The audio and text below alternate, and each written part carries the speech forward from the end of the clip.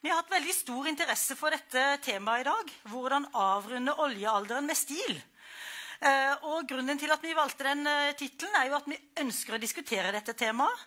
Og Kristin Halvorsen introduserte jo den eh, setningen en gang for noen år siden, og vi syns den var god. Så er det jo sånn at ingen har avvikla en oljealder med stil noen gang.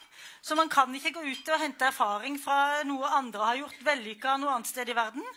Eh, men det er ingen tvil om at man må diskutere det, selv om det er vanskelig. Og det er det man er så heldig å kunne gjøre her i Klimastiftelsen, at man får penger til å drøfte de temaene som også er veldig viktige, men vanskelige. Så er vi veldig opptatt av i dag at premisset er at man ikke skal diskutere at man skal skru av lønnsomme oljekanner nå. Det er ikke noe tema her. Eh, det som er tema, er at 1,5-gradersmålet eh, vil få konsekvenser for oljenæringen. Og det vil få konsekvenser for hvordan måte, eh, oljenæringen vil påvirke norsk økonomi. Så da skal vi begynne med faktarammer. To gode og viktige faktarammer. Først er det Lars Henrik Borp Mikkelsen, som er daglig leder i Norsk Klimastiftelse. Han skal gi en liten faktaramme om eh, oljenæringen og dagens tema. Noen tall. Så etter hvert så tar jo du da opp Tore Furevik, som er direktør på Bjerknessenteret og klimasjef ved Universitetet i Bergen.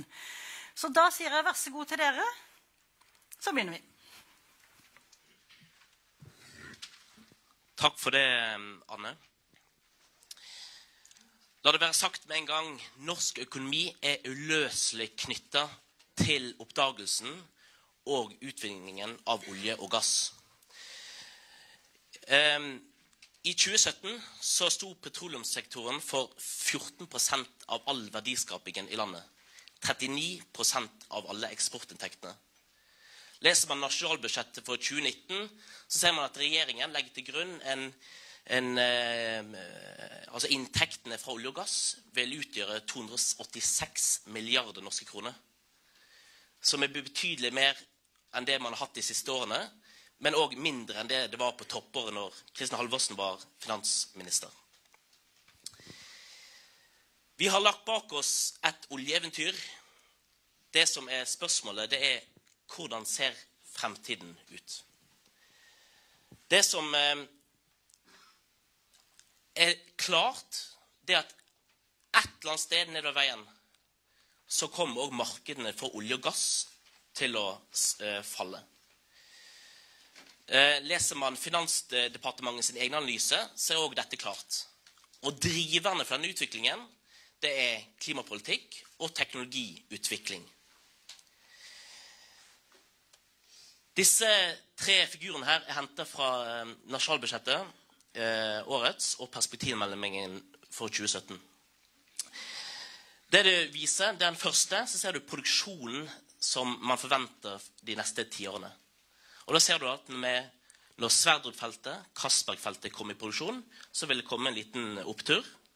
Faktisk ganske høy. Men så vil det falle gradvis, men sikkert nedover. Så ser man sysselsettingen. 2017 så sa SSB at det var 170 000 ansatt indirekte og direkte i oljenæringen. Perspektivmeldingen, som da tar 2013 som et nullutgangspunkt, så, så, så, legger man til grunn at en halvering i sysselsettingen i denne industrien. Så kan man se på inntektene våre. Det samme bildet der. Så selv om man legger til grunn en, en ganske sånn flat oljepris eh, fram mot 2050, så ser man at inntektene fra olje og gass kommer til å gå ned. Så dette er på en måte den store utfordringen for norsk økonomi. Det er hvordan skal vi måte kompensere for dette, både med sysselsetting og inntektene til staten, som finansierer mye av velferden vår. En viktig poeng òg med det med sysselsetting det er jo at de arbeidsplassene som forsvinner, de er òg noen av de mest produktive arbeidsplassene vi har. De arbeidsplassene som skaper mest verdier. Og da igjen var det i eh, perspektivmeldingen hvor man sier noe sånt som at verdiene skapt jeg, av en olje- og, uh, oljearbeidsplass er 14 ganger høyere enn arbeidsplass i fastlandsøkonomien. Så ikke bare er det mange, men det er òg mye ressurser og høy verdiskaping som forsvinner når disse arbeidsplassene går tapt. Så er det et annet viktig poeng, og det er jo at ikke bare så får vi veldig mye direkte for olje og gass, men olje- og gassektoren òg er motoren i norsk økonomi. Det drar òg med seg den annen fastlandsindustrien. Og her ser du investeringene, eh, altså BNP fra Fastlands-Norge, eh, og andel til petroleumsnæringen. Og bildet her er akkurat det samme. Og budskapet i denne grafen, som du finner omtalt i egentlig alle, alle dokument som Finansdepartementet har satt eh, sitt navn på, så er det at vi er nødt å finne en annen motor. Og det er ikke én næring, det er mange næringer som overtar på en måte, den motoren som olje og gass har vært. Eh, og det er på en måte det eneste måten som vi kan eh, kompensere for dette fallet. Vi vet ikke hvordan utviklingen blir, men veldig ofte når vi planlegger for fremtiden, så tenker vi ofte i lineære bane. Eh, ofte som viser man til fremskrivninger sant, som kanskje går i en liten sånn fin bue etter hvert. Og du får inntrykk av at her har man god tid til å omstille seg når man ser endringen komme.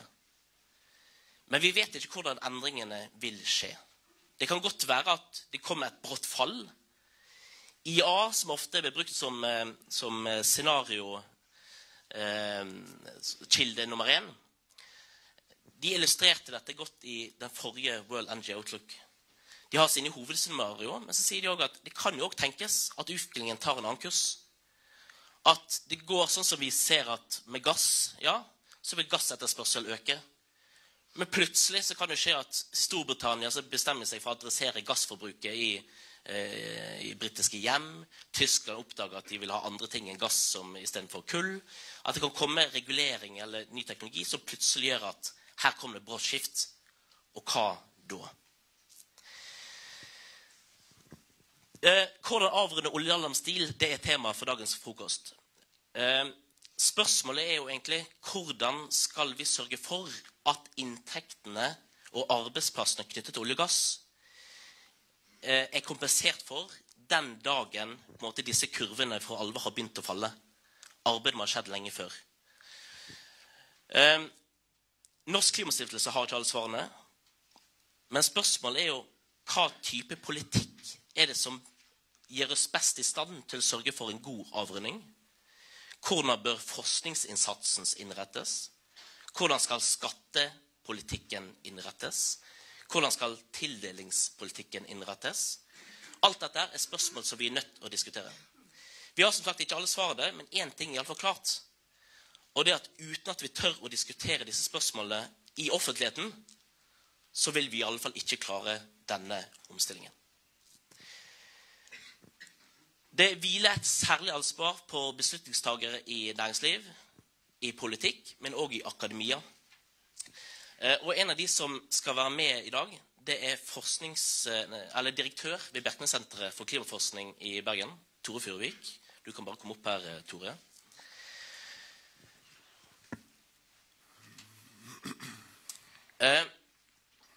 Veldig ofte når vi snakker om olje og gass og fremtiden for olje og gass, så er ofte det som rammer inn diskusjonen, det er på en måte hvordan vi forventer at markedet utvikler seg, eller etterspørsel etter fossil energi utvikler seg. Men hvis vi sier nå at vi legger klima til grunn, hensynet til at vi skal nå halvannengradersmålet, eller målet om å avgrense temperaturstigningen til halvannen grad, hvordan, altså Hvor masse olje og gass vil det da være plass til si fram mot 2040-2050? Ja, øh, jeg skal ta det veldig raskt. og det er klart Klimaet skiller jo ikke mellom de ulike kildene. Så hvor mye olje det vil være plass til i framtida, det vil avhenge av hva som skjer f.eks. med kullindustrien i Kina. Hvor mye kull vil det være i framtida? Hvor mye gass vil det være? Hvor mye skifergass i USA osv. Og hvor mye norsk olje hadde plass til, vil jo da avhenge av hva som skjer f.eks. med Saudi-Arabia, med og andre oljeeksporterende land. Men budsjettet, altså karbonbudsjettet er veldig klart. Og dette her er med de siste tallene fra halvannengradersrapporten fra FNs klimapanel, som kom ut i oktober i fjor. Og det viser at eh, skal en klare å holde temperaturøken under halvannen grad. Og det er halvannen grad i forhold til førindustriell tid, altså det er en halv grad varmere enn i dag. Skal vi klare å holde temperaturen under halvannen grad, så kan vi til sammen forbruke eller forbrenne eller slippe ut omtrent 2800 milliard tonn CO2 til atmosfæren. Og i dag, altså økonomien eller vårt energibehov gjør at vi i dag har omtrent 1300 tonn per sekund. Så vi slipper ut formidable mengder CO2 i atmosfæren. Det blir ca. 42-43 milliarder tonn på et år. Og budsjettet er veldig klart. Skal vi klare å holde øken under halvannen grad, så har vi igjen ca. 580 milliard tonn CO2. Og jeg sa vi forbruker ca. 42 milliarder tonn per år, så det vil si vi har 10-15 år med dagens forbruk før vi passerer halvannen grad. Bare, for å spørre, spør, er, det, altså, er dette på et snitt? Altså Disse tallene her, er det, regner med det ikke sånn eksakt tall, men at ja, nei, Du kan gjerne si at det er cirka-tall. Det er litt usikkerhet her, men det, dette er de siste tallene fra, igjen fra FNs klimapanel, så kanskje det har vi et par år til på oss, men de viser veldig klart at vi har brukt omtrent 75% av det vi kan bruke. Og tallene viser òg veldig klart at eh, hvis en ser hvor mye kjente reserver det er med olje, kål og gass, så må kanskje 75 kanskje 80% av de forbli i bakken. Dersom ikke vi får til en storstilt karbonfangst og -lagring. Halvannengradersmålet eh, Det virker ofte feil å snakke om halvannengradersmålet, for det er jo på en måte vitterlig et tak vi skal eh, holdes under. Men hvordan, eh, kan du bare si hvordan ligger vi an akkurat nå? Ja, så igjen, Den samme rapporten som kom i oktober, den viste veldig klart at vi har fortsatt en liten mulighet for å holde temperaturøkningen under halvannen grad. Det er den gode nyheten. Men den dårlige nyheten er jo at vi stevner mot en temperaturøyke på halvannen grad i løpet av bare 10-15 år. Og vi vil etter all sannsynlighet passere to grader i løpet av en 30 års tid. Hvis ikke vi klarer å få til en dramatisk kutt i utslippene. Og det er vist med den figuren til høyre her. Den viser hvor raskt utslippene må gå mot null for at en skal klare å holde temperaturen under halvannen grad. Og Det er et tall som dere sikkert har hørt. Det er en ca. 50% reduksjon i utslippene innen 2030, og det er ca. 100% innen 2045, 2050, 2055. Så det viser litt det usikkerhetsspennet, men altså halvdelen om, 15, om 10 år, og resten i løpet av de neste 10-15-20 årene.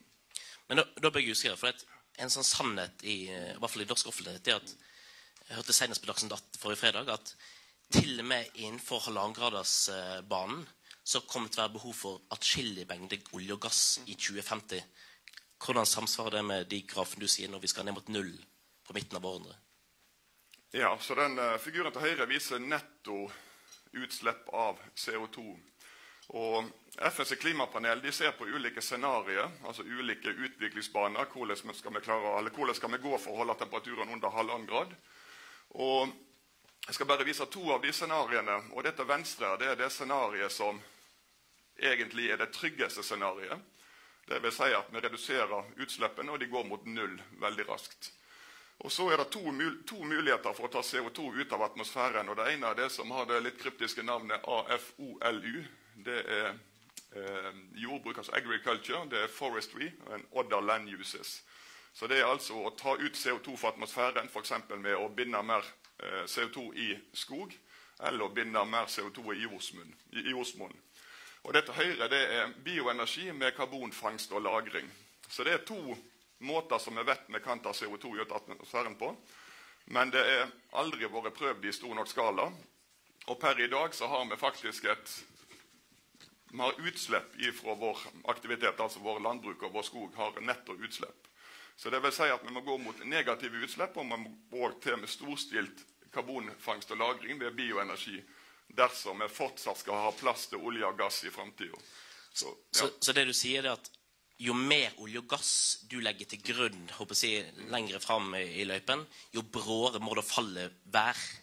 Et ja. fall som uansett må komme på et eller annet tidspunkt. Ja, så forsink, med vi den utfasingen av fossil energi. Altså Hvis vi fortsatt skal ha utslipp av CO2 fra fossil energi i 2050, 2060, 2070, så må en tilmelde en ekstremt storstilt opptak, eller ta ut av CO2-atmosfæren. Så det er på en måte en arv som vi da gir til våre etterkommere.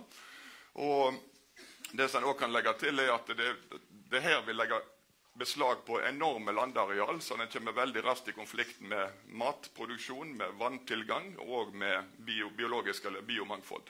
Så, det, det, er veldig komplekst. og det det er en veldig sånn fare å gå med å utsette utslippskuttene, fordi at vi da må til med ekstremt kraftig opptak av CO2 fra atmosfæren. Så kan det bare sies at, at Da finnes det òg en P4 eh, i, eh, i, i, scenario fra den siste IPCC-rapporten, som har enda mer ekstrem på negative altså, eller opptak av, av, av, CO2. Så når folk refererer til IPCC, så er det egentlig en av disse scenarioene eller framskrivningene de, de viser til. Hvis du som klimaforsker skulle sagt noe om hvordan altså hvordan mener du Norge ligger an? Gjør vi på en måte vår del av måte, det, det store klimastrevet? Uh, skal ta veldig raskt. Norge, altså Norge er jo selvforsynt med, med vannkraft. altså Vi har nok elektrisitet fra vannkraft i Norge. Men likevel så ligger vi relativt dårlig an sammenlignet med alle våre naboland. Og denne kurven her, det var fra en eh, rapport på energi og klima i fjor, som Helge Drange, min kollega, lagde. Men den viser utslipp, utslipp per innbygger i Europa, altså alle europeiske land. Og skal bare si Europa ligger veldig likt som Kina. altså EU har, og Kina de ligger veldig likt i utslipp per innbygger. Norge ligger 25% ca. høyere enn det europeiske gjennomsnittet. Men dere ser at de fleste land i Europa ligger lavere enn Norge. og bare for å ta et land som Sverige, så har de omtrent halvparten av de norske utslippene per innbygger. Så, så, Norge ligger relativt dårlig an når en ser på utslipp per innbygger. Og hvis en ser på, ja, ser på hvordan um, utslippene har endra seg de siste 25-30 årene, så ligger vi veldig dårlig an. For hvis en ser på så godt som alle land i Europa de har redusert CO2-utslippene sine i løpet av de siste 25-30 år, Ehm, det er noen få land som har økt utslippene, og Norge ligger faktisk på tredjeplass i Europa når det gjelder å ha økt utslippene sine siden 1990. Og, ja, så, så, trenden, Det er en veldig positiv trend i så godt som alle vestlige land. Europa, USA, Japan. De fleste, land, de fleste vestlige land, altså de fleste rike land har redusert utslippene. Men i Norge har utslippene gått ganske betydelig opp av CO2. Men her kommer du fort inn på olje og gass, for her, der har det jo vært masse, altså stor økning. Men det skal være olje og gass i alle fall en, god stund til. ikke er det da bedre at Norge, som har relativt lave utslipp knyttet til produksjonen, står for, de, altså står for den produksjonen? Eh, teknisk sett er det jo best at det er de som har lavest utslipp med produksjon, at det er de som produserer. Men, men det er to ting her. Det ene er det at Utslippene ved produksjon er veldig små i forhold til utslippene ved forbrenning av olje og gass og kull. Så den produksjonseffekten den er veldig liten på totalutslippene. Og så er det òg det at eh, jeg tror ikke f.eks. at Saudi-Arabia vil fase ut sin oljeaktivitet fordi at Norge kanskje klarer å produsere med bitte litt lavere utslipp. Altså Det er ikke sånn verden fungerer. Men så kan du, så kan du hevde at uh, utslippene fra petroleum er underlagt uh, kvoteregimet. Og sånn sett kan du si at det er på en måte en del av de utslippene som faktisk er uh, i, i, klimapolitikken. At det er en del av et utslippstak som er vedtatt skal reduseres med så og så mange prosent innen 20, 2030. Så man kan jo også si at utslippene her er tatt hånd om. Ja, det er klart at Norge eh, er sammen med Europa innenfor det europeiske kvotemarkedet. Så Norge kan teknisk sett kjøpe CO2-kvoter og fortsette å forbruke eller fortsette å forbrenne som før.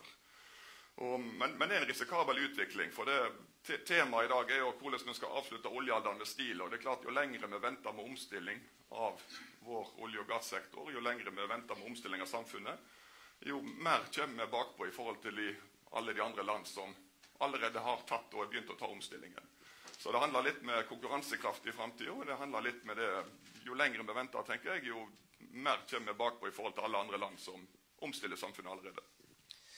Så hvis du som, klima, eh, nei, si, som klimaforsker skulle sagt noe om hvordan bør hvis du ser frem til 2030-2040, hvordan bør petroleumspolitikken da rigges hvis den skal være i tråd med det som er vedtatte klimamål, og den, den kunnskapen som IPCC har kommet med?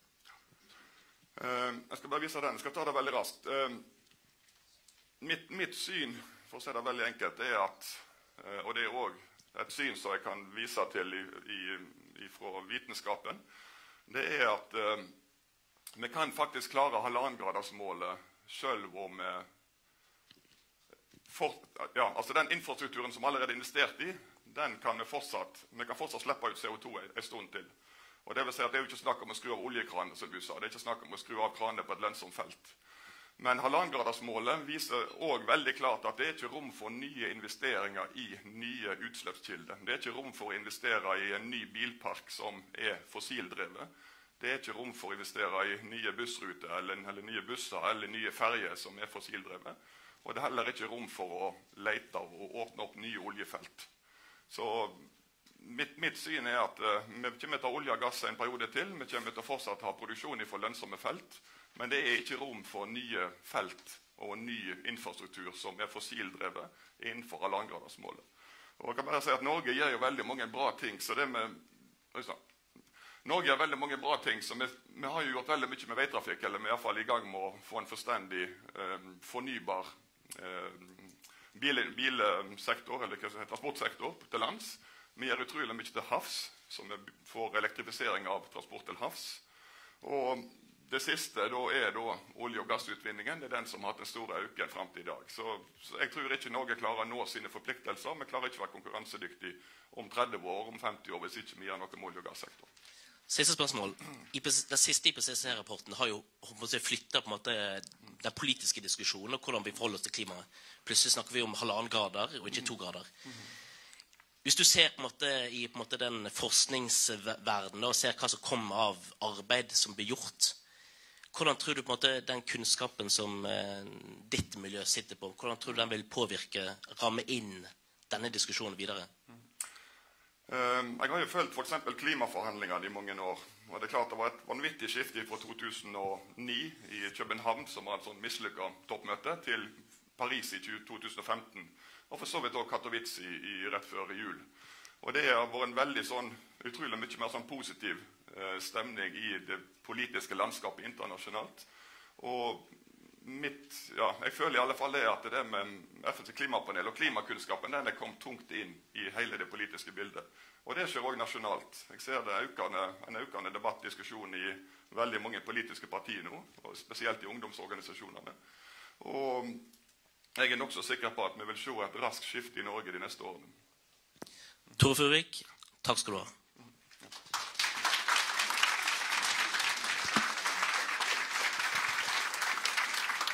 Tusen takk. Vi kommer til å legge ut de plansjene som Tore viste her, sånn at de som vil, kan bruke de i jobben sin når det trengs. Tusen takk, Tore og Lars Henrik.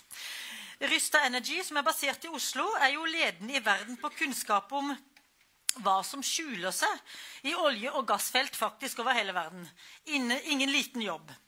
Uh, rett og slett hvor mye olje og gass der fins i hvert enkelt felt, og også hva det koster å få ut denne oljen og gassen. Så vi har invitert eh, Jo Huseby. Du kan bare komme opp her. Du Du er partner i Rysta Energy, og du skal dele fakta om norsk eh, oljesektor. Og I innledningen din så vil du si litt om eh, hvor norsk olje og gass er på den globale kostnadskurven. Det er jo kunnskap mange av oss ikke har. Og så vil du fortelle om verdien av den norske oljeformuen i ulike prisscenarioer. Og så vil du vise hvordan dette kan bli påvirka hvis man bare velger å si at Lofoten skal man ikke bygge ut. Og også skal du si noen ting om eh, ressursanslaget, hvis vi da finner ut at egentlig gassen i Barentshavet ikke er så drivverdig. Så vær så god. Jo, takk for det. Takk for det. Dette her er en veldig spennende diskusjon. Ehm, jeg fikk utfordringen å gi kort innlegg om eh, verdier og konkurransekraft av eh,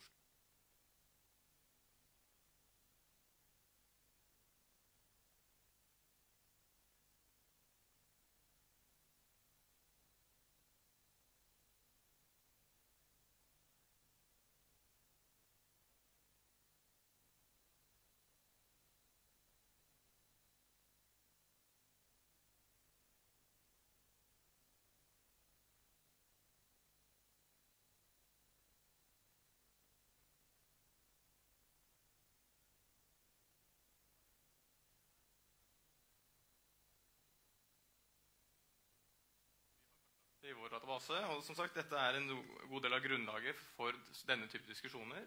Når vi ser på hvilke ressurser for kan være konkurransedyktige i ulike etterspørselsscenarioer, som er relevant selvfølgelig når man ser på denne eh, debatten om hvor mye olje og gass man kan konsumere i årene fremover. Jeg kommer til å konsentrere meg mest om å prøve å gi litt konkrete tall om norsk sokkel som grunnlag for debatten videre. Så først står to temaer. Kostnadskonkurransekraften til olje- og gassvolumene. Og så litt om verdien. Så en måte å se på konkurransesituasjonen for olje og gass Her gjør jeg det for olje. Så ser du hvordan utviklingen for tilbudet for olje har utviklet seg helt siden 1970. Så det er nesten 50 års eh, ramme hvor konvensjonell eh, onshore olje har blitt delvis mer og mer supplert med offshore, henholdsvis fra grunt og dypt vann. Så har det kommet en sterk konkurrent inn de siste ti årene. Så konkurransesituasjonen for olje, men dette skjer også på gass, har blitt ganske radikalt endret. Det var på en måte begrenset forståelse av dette her for ti år siden. Og mye av dette så man jo egentlig skulle komme fra offshore. Så norsk olje og gass har blant, som alle olje- og gasskilder møtt en mye sterkere konkurranse. Og det var en del av den eh, nedturen vi fikk pga. alle de volumene som kom fra skifer. Og skifer har da tatt rundt 75% av produksjonsveksten de siste fem årene. Så absolutt en veldig kompetitiv arena. Og spørsmålet er, hvordan klarer norsk olje og gass å konkurrere på denne arenaen. Og det er veldig stor forskjell mellom olje og gass. Noen olje- og gassfelt produserer. Dvs. Si at de har tatt investeringene. Og det man ofte ser på da, er hvor mye koster det å drifte disse. Det er én indikator for konkurransekraft på produserende felt. Du kan bruke flere, men her ser vi hvordan Norge i den blå linjen ligger i forhold til på Y-aksen og X-aksen her så har du eh, akkumulert produksjon, og så har du kostnad per fat. Så vi har veldig billig produksjon fra produserende felt i Norge.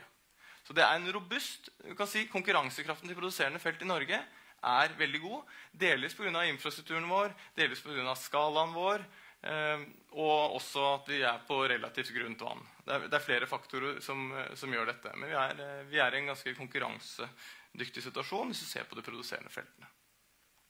Hvis du ser på de feltene som ikke er i produksjon, de som er betinget en beslutning, altså de som har investeringene foran seg, som har en helt annen økonomi, så kan man snakke om break-even, altså den oljeprisen som gjør at eh, et felt går i null.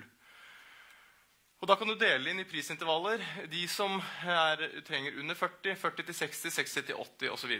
Hvis vi ser på norske, det er den norske søylen, blå Vi har noen andre offshore-provinser som vi sammenligner med. Så ligger ca. 45% under 40 dollar fatet. Det vil si at krever, Selv i dagens oljeprisregime så er det robust, stor del av de ressursene vi har som ikke er sanksjonert, er ganske robuste i dagens oljeprismiljø.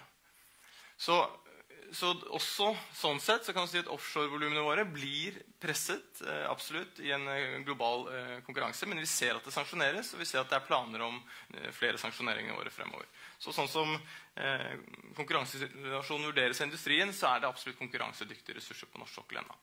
Jeg skal komme tilbake litt til leting, men altså bare et bilde på industriens vurdering av konkurransekraften til norsk sokkel også for nye ressurser så er på en måte aktivitetsnivået der også en indikator på at industrien vurderer den konkurransedyktig. Leteaktiviteten i år er tilbake på den leteaktiviteten vi hadde når vi hadde 100 dollar fatet. Så dette er på en måte en temperaturmåler på hvor industrien står. Og så over til verdien av disse ressursene. Eh, og noe av disse verdiene er litt lettere å sette tall på enn andre. Men jeg skal prøve meg. Eh, hvis vi ser på ressursgrunnlaget Dette her er OD sitt ressursestimat eh, fra slutten av fjoråret. De gjør dette årlig. Og du kan tenke at Hvis vi ser for oss at du har eh, Nordsjøen og, eller sokkel, norsk sokkel, så har du en, et estimat på mye ressurser som er der. 50% av det er produsert. 28% er i funn og felt, og 25% er estimert til å være ikke oppdagede ressurser i de områdene som er kartlagt av, av OD. Så det første jeg vil fokusere på å prøve å sette en verdi på, det er altså dette som vi har funnet. kanskje det mest håndfaste. Brorparten av det er reserver som er igjen i produserende felt. Så I vår modell så putter vi da inn fremtidige kostnadsestimater og prisantagelser. Og så kan vi leke med ulike oljeprisantagelser. 40, 60, 80 dollar fatet fremover i evigheten er det vi har brukt her for å bare vise sensitiviteten på verdiene. Og så har vi splitta det på olje og gass og totalt. Så hvis du verdsetter og det, verdien her nå det er overskuddet både til selskaper og stat. Det er verdidefinisjonen jeg har brukt her. Og så er diskontert det med 10 7,5% reelt. Så det er ganske høyt i forhold til hva staten ofte bruker, men typisk det industrien bruker. Da sitter du med en nåverdi på rundt 3400 milliarder norske kroner i dag. Av denne fremtidige aktiviteten gitt en, en oljepris på 60 dollar. Gassprisen er rundt 6 dollar per metu for de som forholder seg til det. Så det er betydelige ressursverdier. Eh, og den er jo, som dere ser, ganske sensitiv til hvilken prisantagelse naturlig nok, du legger inn når du gjør en sånn verdiberegning. Og Rundt to tredjedeler ligger i oljeressurser. Men det er klart, disse er ikke helt lett å splitte alltid, for oljefelt inneholder også gass. Det er ikke nødvendigvis så clear cut som jeg gir her, men indikativt så er det mer verdi i olje enn i gass. på norsk i det som er funnet. Så sånn Størrelsesmessig er store tall. Oljefondet i dag er vel rundt 8800 milliarder norske kroner. Så du kan se det i forhold til det. Her er det 3400 potensielt i, i nåverdi. Så over til neste bolken av det som er gjenværende. Og den er mye mer eh, krevende å sette en verdi på. Eh, og så her eh, skal jeg prøve meg på et lite resonnement for å gi dere en indikasjon på størrelsesorden vi kan snakke om her. For dette er mye mindre håndfaste ressurser og basert på mye mindre informasjon. Men hvis vi ser på de ressursene som er igjen eh, Igjen et eh, kart fra OD. Det er de som har på en måte egentlig det beste utgangspunktet for å vurdere sitt med mest informasjon i forhold til det som ligger i bakken, eh, fordi de sitter på all seismikken og, og, den geologiske innsikten her. Så De har et estimat på at det er rundt 4 milliarder standardkubikkmeter igjen, altså 25% som vi snakket om. Ca. 50-50 olje og gass. To tredjedeler ligger forventningsvis i Barentshavet. Det er klart Nordsjøen og Norskehavet er mer modent, og mer av ressursene er allerede hentet ut og i funn og, og felt. Så rundt to tredjedeler i Barentshavet. Og spørsmålet som var konkret stilt her også, hvor mye er gass i Barentshavet? Jo, det er 30% av disse, de to røde eh, seksjonene der. Og hvor mye er Lofoten Vesterålen? Jo, det er rundt 200 del av Norskehavet, så ca. 5% Så de to til sammen utgjør rundt en tredjedel av dagens estimat på ikke påviste ressurser på norsk sokkel. Som igjen var, da var 25% av totalen. Men så har jeg prøvd å sette noe verdi på dette her. Dette er, dette er, eh, ressurser som ikke er påvist. Så det er en interessant øvelse. Jeg tenker Det er nesten litt som å be deg sette en verdi på et hus som du ikke vet hvor ligger, eller hvor eh, i hele tatt eh, tilstanden på. Du får kanskje vite at det er 200 kvadratmeter stort, men allikevel så er verdispranget ganske stort. Så vi har noen ressursestimater, men verdien er veldig vanskelig å sette. Bare for å sette en bilde på det, igjen, Dette er fra faktisk en rapport OD hadde på verdien av Lofoten, Vesterålen og Senja i, gjort i 2010. Og måten man leser den her på, det er en sannsynlighetsfordeling. 75% sannsynlighet for at verdiene var altså Dette var også nåverdiberegning, dog med litt annen, andre antakelser. Vi kommer tilbake til det. 50 milliarder norske kroner i nåverdi med 50, 75% sannsynlighet det er det eller mer. Og det er 5% sannsynlighet for at det var 180 milliarder eller mer. Så når de gjorde en forventningsvurdering av det, så endte de på 100 milliarder norske kroner i nåverdi for dette området, som var 5 ikke sant? Det kan godt være det er gode 5% men i, i volummessig er det 5% så Bare noen observasjoner. Det tilsvarer ca. 10 dollar fatet hvis du skulle gjort en liksom, per enhetsberegning av, av ikke påviste ressurser. Det man må se her, er jo at dette her ligner litt på, på en opsjon. Altså, det er veldig liten nedside tilsynelatende i måten eh, det regnes på her. Fordi du kan gi deg på veien hvis du ikke finner noe. Eh, mens oppsiden tilsynelatende er stor. Men usikkerheten er veldig stor, særlig pga. geologien. Du vet ikke hvor mye som er der, du vet ikke hvordan det er samlet. Er det store felt som er effektive å drifte? Er det mange små? Er det olje? Er det gass? Og så er det også et sett med antakelser på oljeprisantakelser, valutakurs, Utviklingskost, diskonteringsrater, timing for når disse feltene kommer, det er et mylder. Så dette her er ikke eksakt vitenskap. Men la oss på forenklighets skyld si at de kom fram til 10 dollar med rundt 100 dollar fatet. Nå er vi nærmere 60.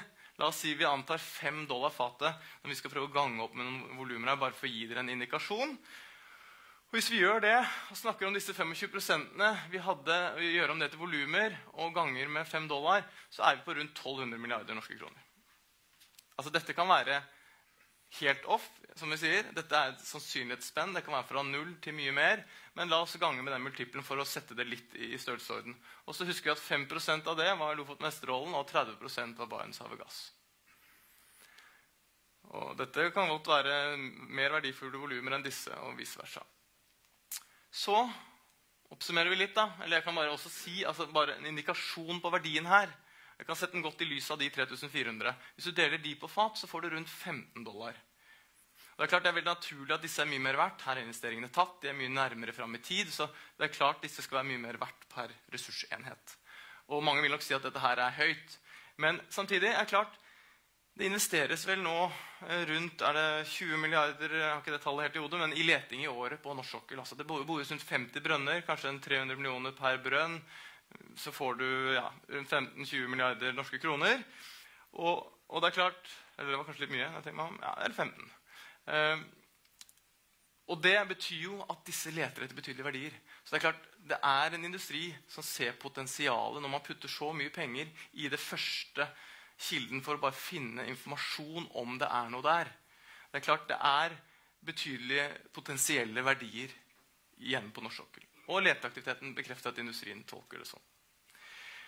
Eh, så er det disse verdiene som vi snakket om på, på på funn og, og, produksjon. Og til slutt bare en indikasjon. Mye har vi produsert. Det har tilfalt selskapene og staten gjennom historien. Per i dag så er mye av dette i oljefondet. Mye er jo også tatt ut av private selskaper. Dette gir et lite forhold om verdifordelingen forhåpentligvis på ressurser på norsk sokkel. Og det var egentlig det jeg hadde for i dag. Da Gir du en applaus? Tusen takk skal du ha. Dette var veldig nyttig. Jeg er en liten fotnote her altså, ja, men... Dette tar ikke med verdi selvfølgelig fra leverandørindustrien, som på en måte har selvfølgelig verdiskapningspotensial også. Og kanskje i større grad for leting, fordi mindre av kostnadene er tatt. Så hvis man skal regne helt liksom, samfunnsøkonomisk nytte av dette, så kan man også ta med det. Vi hadde jo trengt en hel klimafokus bare for å diskutere de tallene dine, men det kan vi komme tilbake til. Velkommen tilbake seinere. Tusen takk. Eh, da er det Kristin Halvorsen sin tur. Du kan bare komme opp her med en gang. For det var du som lanserte dette begrepet, det sa jeg før du kom, dette med å avrunde oljealderen med stil. Du er jo nå direktør ved Cicero senter for klimaforskning og var jo finansminister i din tid, så du vet jo også litt om hvordan man på en måte diskusjonene går eh, både politisk og i forskningen og også i næringslivet. Men det du skal gjøre nå, er å innlede om hva du mener må gjøres for at vi skal få en styrt reduksjon av oljas betydning for norsk økonomi, og, og legge til rette for på en måte en mild avrunding. Det høres ut som en ønskedrøm. Men er det mulig? Det, det, det skal du svare på. Jeg har ikke en eneste slide. Og så driver jeg og sliter med følgende. og det er at Jeg har aldri egentlig opplevd at noen gamle politikere har med noe særlig stil klart å gi veldig gode råd til de som kommer etter. Men, øh, men jeg tenkte jeg i hvert fall skulle prøve å ta noen sånne skråblikk og litt overordna perspektiv på det vi holder på med. Fordi at den norske olje- og gasshistorien er egentlig helt fantastisk i internasjonal sammenheng. Og Derfor hadde jeg tenkt å, å starte, litt, eh, starte, litt, med det. Fordi Hvis du ser på andre land som har funnet naturressurser, ikke-fornybare ressurser, med så stor grunnrente som olje og gass har, altså disse ekstrainntektene som er knytta til olje og gass, så er det ingen som har klart å forvalte dem sånn som oss. Um, de fleste har bare endt i korrupsjon og faenskap og blitt robba av svære multinasjonale selskaper. Det er på en måte perspektivet. Vi har klart å finne olje og gass. Vi har klart å utvikle den sektoren sånn at det har kommet til gode for norsk næringsliv. Vi har klart å gjøre det på en sånn måte at inntektene derfra stort sett har kommet den norske velferdsstaten eh, til gode. Eh, og vi har gjennom SDVE, gjennom vårt eierskap i eh, Statoil, på alle mulige måter på en måte tenkt at dette er et fellesskapets ressurser. Vi skal forvalte det med utgangspunkt i hva som er fellesskapets eh, beste. Nå, dette er litt store overskrifter, men i global sammenheng er det helt riktig. Eh, så har vi klart å forvalte de pengene uten det som er den vanlige sykdommen som følger med så store inntekter over så kort tid, og det er såkalt Dutch disease. Altså at man en næring klarer å dra opp kostnadsnivået som gjør at alle andre næringer i nærheten går konk. De klarer ikke å følge lønnsnivå, de klarer ikke å følge alt det andre. Og vi har jo hatt noen sånne tendenser innenfor norsk olje- og gassnæring òg. Men i det store bildet så har vi klart uh, å sørge for at vi også har annen næringsvirksomhet uh, i Norge, og en, en brei uh, kompetanse. Vi har mye naturressurser ellers, også når det gjelder vann, men det store bildet det store bildet er sånn. Og det er jo fordi at man har klart sånne rimelig fornuftige lønnsoppgjør. Men man har også klart å holde en viss fornuftighet i forhold til bruken av oljeinntekter i, i, i norsk, eh, på norsk sokkel. Og da er det ikke egentlig norsk, i norske statsbudsjetter. Og da er det jo ikke egentlig spørsmålet om hvor mye og hvor lite vi skal bruke, men hvor ekspansiv økonomisk politikk vi kjører pga. at vi har ekstra inntektene eh, fra olje. For det er den ekspansiviteten som er med på å kjøre opp kostnadsnivået eh, ellers. Og så har vi da bygd opp dette oljefondet, som nå er på snart 9000 milliarder kroner, og som gjør at vi eier en liten porsjon i ca. 10 000 selskaper rundt omkring i hele verden. Og oljefondet er helt i front når det gjelder å tenke hvordan er det vi kan bruke det eierskapet til å sikre en fornuftig avkastning med langsiktig perspektiv. Og det betyr at også ting som dreier seg om etikk og klima og disse spørsmålene, må være en del eh, av det.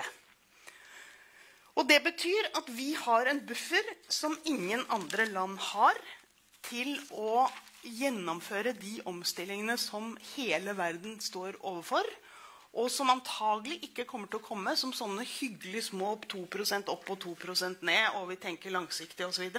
Men som Tore var inne på, her er vi, liksom, vi er i skiftenes tid. Ting kan skje veldig fort.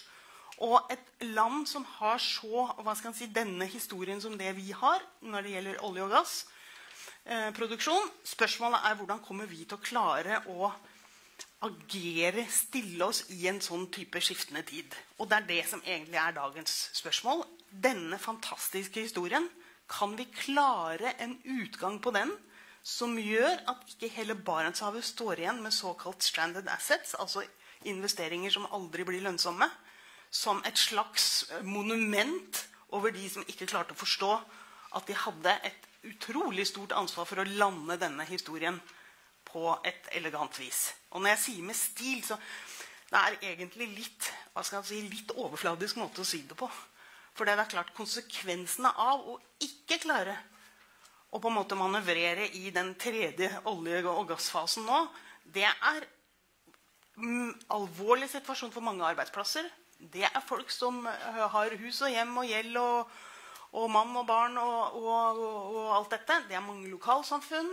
Og det er på en måte den andre sida om hvor mye vi skal fyre opp på den globale eh, oppvarmingen. Så la meg da ta noen, eh, noen overskrifter på liksom, hvordan perspektivet skal være. Det er veldig lett når vi står her og ser hvor store verdier som er knytta til olje- og gassektoren, å glemme at olje og gass er ikke Norges viktigste formue. Det er folk som er Norges viktigste formue. Og 75% av den norske nasjonalformuen er humane ressurser. Det betyr at det vi har mellom ørene og i armer og bein, det er det som kommer til å avgjøre Norges framtid. Det er derfor uh, tidligere statsminister Jens Stoltenberg sier at det er norske kvinner som er vår egentlige formue. Det er jo litt ja, fint å tenke på. Men altså, hvor mye, vi, hvor mye lønnsarbeid norske kvinner har, har mye større verdi for vår framtidige produksjon enn olje og gass. Eh, at vi klarer å hindre dropouts i skolen, at vi klarer å få disse gutta som ikke si, føler seg like til eh, hjemme i det norske skolesystemet, har enormt stor betydning i denne sammenhengen.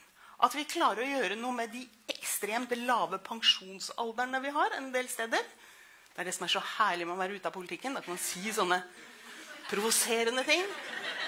Det er jo helt sprøtt at vi har pensjonsalder, eller at noen kan pensjoneres med gode pensjoner under 60 år. Og kanskje under 70 år. Styreformann i, i Sistro han er søren meg på vei mot 80.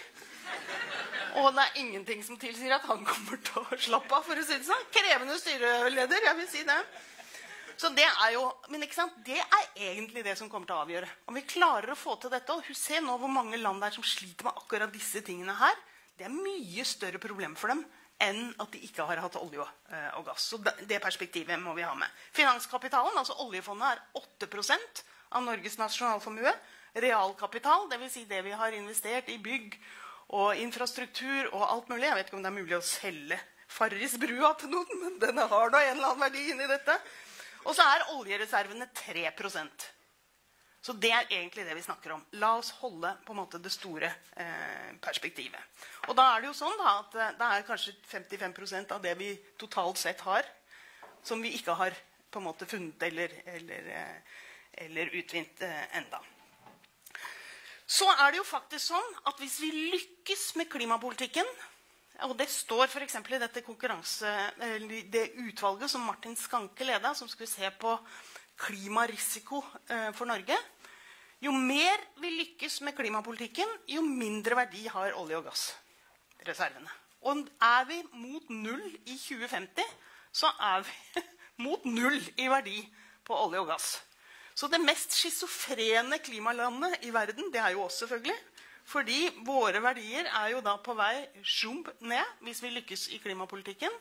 Og samtidig så har vi faktisk et, et bredt uttalt ansvar for å klare eh, å, å, få til eh, dette. Og så trenger jeg ikke å si noe mer om prisbildet, for det har vi fått så, eh, så eh, godt illustrert. Men husk nå på at avkastningen til oljefondet, altså oljefondets avkastning på de finansinvesteringene som er gjort, er større enn tilførselen av kroner og øre fra olje- og gassutvinning. Så vi er allerede blitt rentenister. Det har større betydning hvordan vi forvalter den formuen, enn om vi treffer riktig, eh, enn om vi treffer eh, riktig her. Uh, og så er det jo på en måte to hovedmåter å tilnærme seg dette på. Og det ene er jo på en måte å prøve å forstå og ha gode analyser av hvordan etterspørselen etter olje og gass framover kommer til å være. Og det er jo ekstremt krevende. For her kommer jo ting til å endre seg eh, fort. Men jeg har prøvd å dele liksom, det opp i tre mulige strategier. Da. Det ene er jo at vi må prøve å skjønne så mye vi kan. Få så mye, altså Manøvrere så mye vi kan. Men første strategi er jo Kjør på. Få opp den olja og gassen som vi tror kan være lønnsom. Få de penga inn på fondet. Eh, og, og skjel ikke til noen andre eh, hensyn. Um, det, så lenge det er lønnsomt, så er det på en måte det, det er det som ruler. Men den andre strategien det, og vi er fremdeles på en måte på etterspørselsperspektivet. Det er jo å tenke Skal vi være litt forsiktige? Er det bedre med noen dråper i bakken enn stranded assets i Barentshavet? Altså Når jeg tenker på Lofoten og Vesterålen 100 milliarder Det De ligger jo der. Altså Hvis vi trenger de 100 milliardene en eller annen gang i 2080, så går vi og henter dem da. Hvis vi er helt krise. Det er jo ingen grunn til at vi skal tenke ja nei, søren, de 100 milliardene de trenger vi nå. Det er helt prekært. Uh, ja. Det går an å tenke Det vil være også, det er på en måte en forsiktighetsstrategi, men fremdeles med etterspørselhatten. Og så er det jo det tredje alternativet. Og Hildegunn og jeg vi har tilbrakt de to siste dagene sammen på en svær CCS-konferanse oppe på Soria Moria. Det er jo å tenke er det noe annet vi kan gjøre knytta til olje og gass som gjør at man får hva skal man si, grønn olje og gass. Nå har jeg glemt helt klokka, så nå må jeg passe på. her. Vifter du, Anne? Ja. Um, uh, og her ligger jo noen perspektiver som er veldig spennende og veldig dyre. Men det er klart det går an å gjøre norsk naturgass om til hydrogen. Fange CO2-en, putte den i bakken i Norge, sende hydrogenen, som er en ren energi, gjennom de rørledningene vi i dag har for naturgass, Sånn at det kan være stabiliseringskraft i forhold til de litt mer fluktuerende uh, fornybarkildene. Det er dyrt, kan bli billigere, går an. En annen måte å anvende uh, natur, uh, gass og naturgassen på. En annen perspektiv er jo rett og slett å tenke fangst og lagring av alle punktutslipp.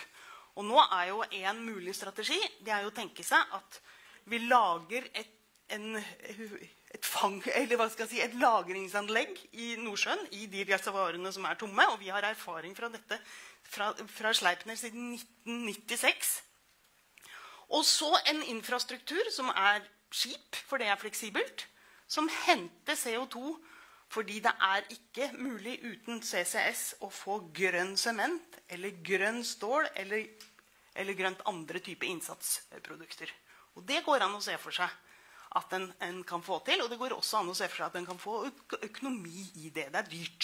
Men det vil være på en måte en alternativ, en alternativ strategi, fremdeles under på en måte en sånn etterspørselsperspektiv. Så er det jo da spørsmål om, om og Nå skal jeg bare avrunde til slutt. og det er Går det an å tenke seg at vi også skal regulere det med å ikke produsere så mye som vi faktisk kunne ha solgt? Og den første måte, spørsmålet da, det er jo Det er neppe særlig gode økonomiske argumenter for ikke å utvinne de ressursene som fins på de feltene vi allerede har åpna. Så dette dreier seg i tilfelle om hvordan skal vi lage et regime for å, for å åpne nye felt. Og Der er det jo faktisk ti norske økonomer som kom med en artikkel for ikke så veldig lenge siden, som gikk inn på akkurat dette. Hva er premissene i tilfelle eh, for det? Og det de sier, er at det kan være et billig klima Hvis man har ambisjonsnivå og, som går på å overoppfylle de norske forpliktelsene, så kan det være et billig alternativ til mange andre ting som vi gjør. F.eks. å kjøpe regnskog eller den typen, eller den typen uh, til. Og det kan føre til reelle kutt, selv om det selvsagt er fare for lekkasje. Altså, vil si at andre land øker sin produksjon fordi vi reduserer våre. Uh, det kan bidra inn, og det er trolig kostnadseffektivt. Og særlig hvis man gjør det i et internasjonalt perspektiv, at OPEC får en annen overskrift. At, de, at, det også blir diskusjonen om hvordan man kan eh, redusere eh, tilbudet. Og så sier de at det er de antagelig mest effektive vil være å begrense eh, lisenser og innføre en avgift på nyutvinna felt framfor å gjøre endringer i skattesystemet, fordi endringer i skattesystemet ikke vil ha like effektivt i forhold til de store, etablerte oljeselskapene som er eh, til stede. Um, og selvfølgelig en tredje mulighet der er å frede sammenhengende store områder. Det er jo også en måte å dra ned, eh, dra ned dette på. Dette er jo hva skal jeg si, mer spørsmål enn det er svar. Men det er et perspektiv som jeg mener at det er viktig å ta med inn i diskusjonen.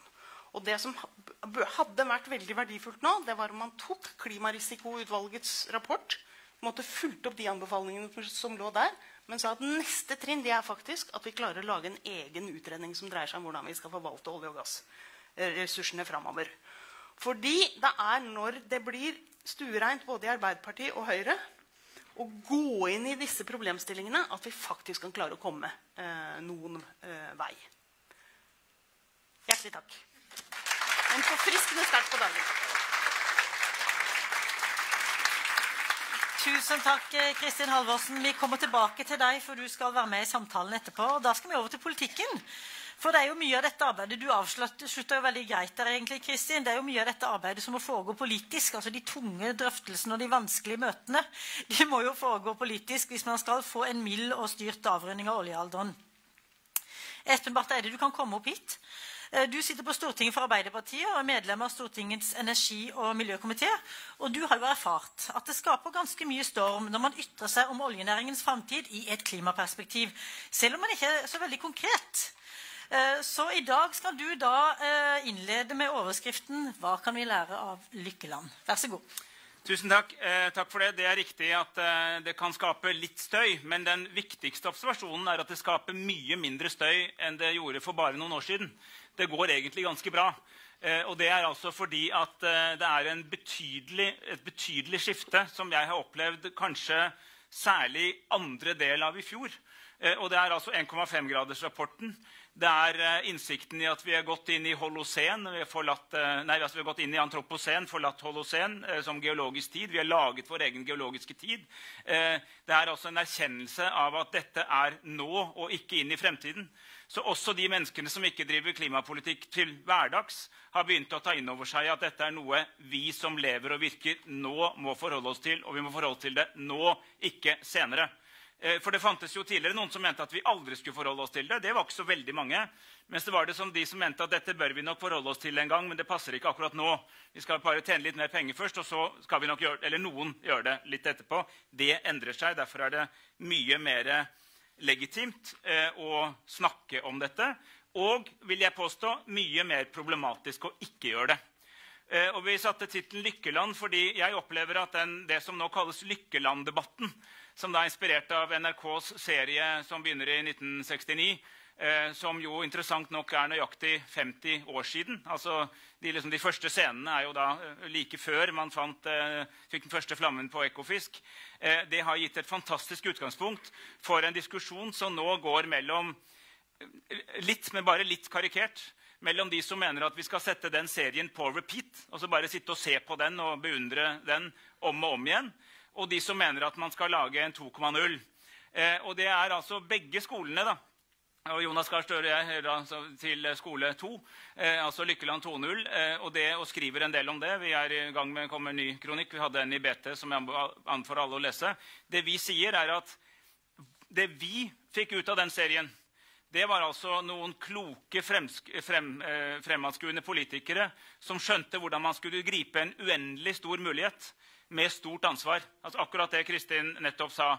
Eh, egentlig inspirert av en annen tidligere hendelse i norsk historie, hvor vi oppdaget at vannkraften kunne gi Norge uendelige muligheter, men hvor kloke mennesker, kloke politikere i et helt purungt Norge, ett år etter at Norge ble selvstendig stat, som vi ble i 1905. I 1906 begynte man arbeidet med konsesjonslover og hjemfall, og det var da i perioden 1906 eh, til 1917, hvor man da laget det kraftregimet som gjorde at vi ble en storeksportør av foredlet kraft. Ikke sant? Fordi at Norge var jo lenge før oljen en krafteksportør. Det var jo ikke, da, ikke strøm, men produkter som bare kunne bli til hvis man hadde uendelige mengder av billig strøm.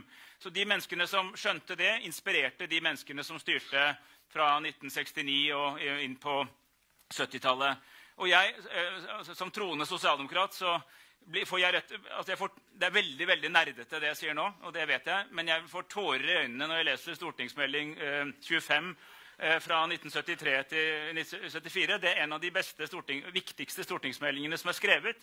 Fordi den beskriver jo veien fra da til nå. Og det landet vi lever i, er sånn. Altså det, er, eh, det kommer til store inntekter. De ante jo ikke hvor store. Altså de trodde det var en brøkdel av det det ble men de skjønte at dette kunne gi nye inntekter. Men så hadde de vært ute og sett på araberland og andre at det var ikke bare enkelt, dette så man måtte passe seg å unngå korrupsjon, vanstyre, overforbruk, eh, interne konflikter. Det måtte gjøres med en nennsom hånd. Og sannsynligvis traff vi oljealderen på det best tenkelige tidspunkt. Ikke for tidlig, for vi hadde en moderne eh, redistributiv, demokratisk stat som hadde tatt opp i seg den norske nøysomhetstradisjonen og kunne styre. Eh, visste hvordan man styrte. og hadde sterke, sterk statlig intervensjon, bygge sterke statlige selskaper. Vi laget et selskap som ble kalt Statoil. Den var satt sammen av ordet stat og olje fordi den var eid av staten og drev med olje. Det var et veldig forståelig begrep. Ikke noen har tenkt på den sammenhengen. Men eh, eh, nå senere kjent som Equinor. Men, eh, eh, eh man laget altså en del, en del, instrumenter som gjorde at dette kom hele folket til gode. Og det er jo det vi skal lære av Lykkeland. Gå inn i din tid. Eh, en av del av de menneskene snakker jeg med, og deres råd altså Jeg skal ikke snakke for alle, men mange av dem sier at svaret er jo ikke å gjøre 70-tallet om igjen. Svaret er jo nå 50 år etterpå å gjøre dette i forhold til det vi nå vet. Og nå vet vi altså helt andre ting som man ikke kunne vite. den, eller det var liksom ti mennesker som visste det, men det var ikke noe sentralt politisk erkjennelse av kli, liksom klimadramaet. Nå har vi det. Så hvis noen, de historikerne som skal skrive om oss om noen tiår, vil jo dømme oss for om vi kunne bruke den helt åpenbart tilgjengelige kunnskapen til å gjøre den åpenbart fornuftige politikken. Eller om vi bare utsatte enda lenger. De vil jo allerede dømme en del av de som har styrt noen år før oss. Eh, men vi som styrer nå, kan i hvert fall prøve å unngå at de også skal dømme oss for ikke å ha liksom erkjent disse sammenhengene. Eh, noe av det flotteste med Lykkeland 1.0 Altså I tillegg til det at man, man opprettholdt et land med liksom en rimelig grad i hvert fall av nøysomhet og fornuft og langsiktig tenkning, og sånn, er jo at vi har konvertert som vi nettopp hørte, det meste av oljen er allerede blitt penger. Eh, altså uansett, I alle Rystads prisscenarioer så er det mindre verdi ikke volum, må skille mellom volum og verdi, men det er det mindre verdi igjen enn det som allerede er tatt ut og står på fondet.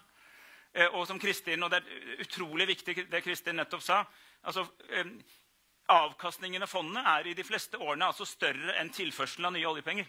Så det er, altså, det, er jo, det er, jo, fondets egen aktivitet som er hovedkilden.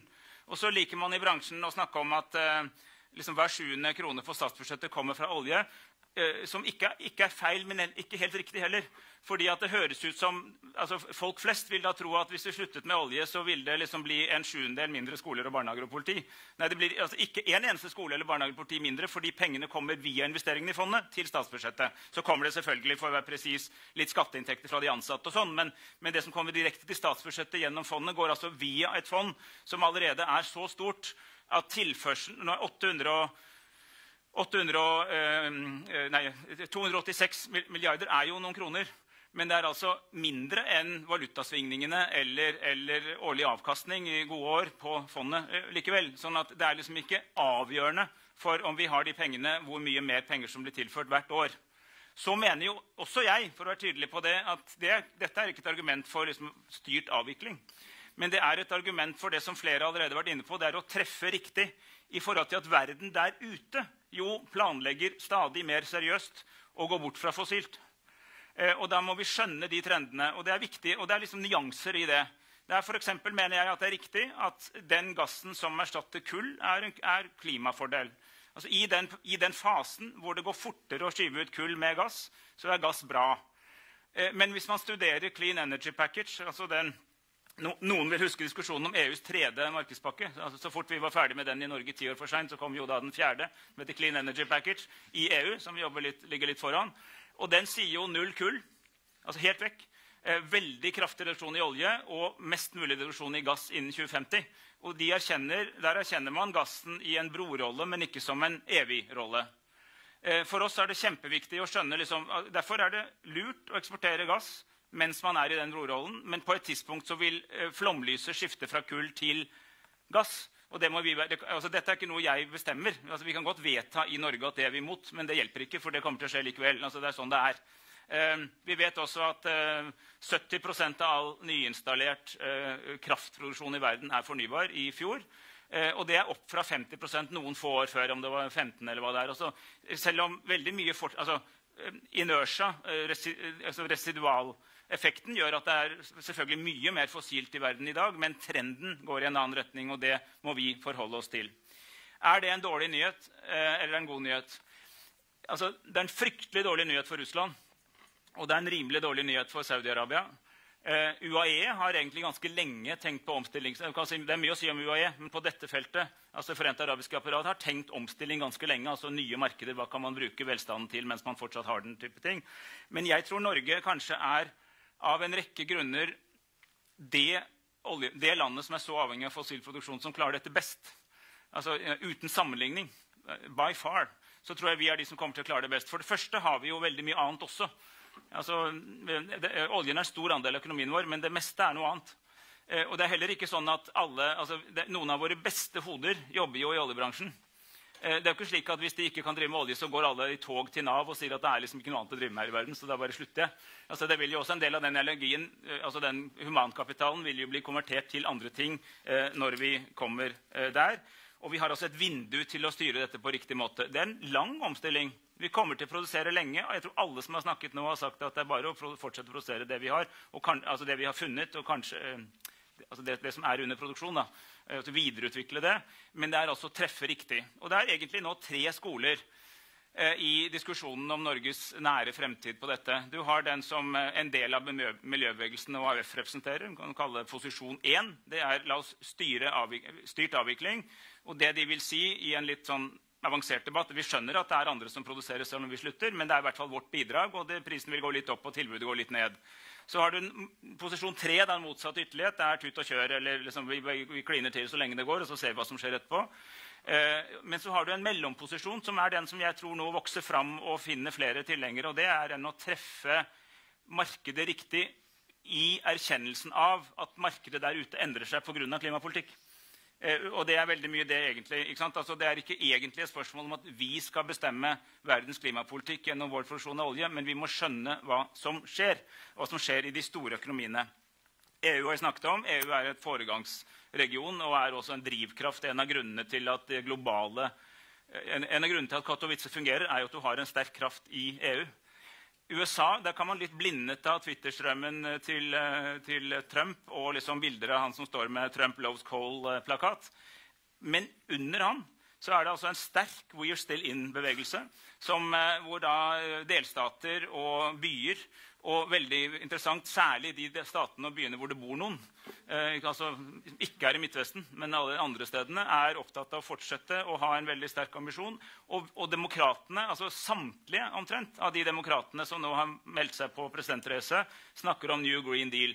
Det er et veldig godt konsept. De, de jobber fortsatt med innholdet. Men innholdet inkluderer i hvert fall en betydelig raskere avkarbonisering i USA. Kina er i dag versting og best i klassen på en gang. De er verst, for de har de største utslippene. Det er pga. enormt økonomisk vekst. Mye av det er drevet av kull. Eh, men det er også den største investoren liksom langt foran alle andre. I, i, altså i, i, dimensjoner langt foran alle andre i fornybar eh, eh kraftproduksjon, men også i fornybare løsninger. Altså hvor du har byer som ringer og bestiller 17 000 elbusser av gangen. Altså det er en ganske stor ordre. Liksom. Ja. Kan vi være så snill få 17 000 nye elbusser i morgen?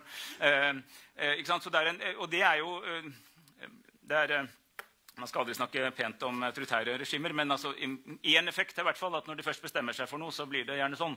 Eh, og, og, sånn at eh, når, når, nå dette er liksom blitt såpass sentralt, også Kina det betyr at de, og, og, selv India har nå, eh, etter å ha hatt en ganske, inntil nylig ganske betydelig kull Jeg er veldig fascinert av det, som jeg, noen har hørt meg nevne før, men jeg har oppdaget da at Kullindustrien i India ber regjeringen om å innføre straffetoll på solkraft.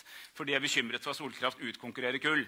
Eh, det, eh, det, men det bare sier litt om eh, hvilken vei vi beveger oss. Her skjer det store ting.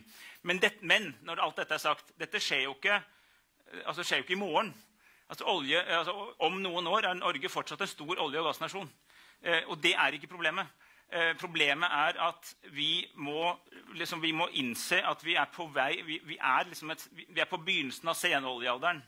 Jeg har veldig lyst til å understreke at jeg mener ikke at den tar slutt heller. Altså, det går ikke til null. Det er ikke til null fordi For det første er det altså en god del petroleumsprodukter som ikke går til energi.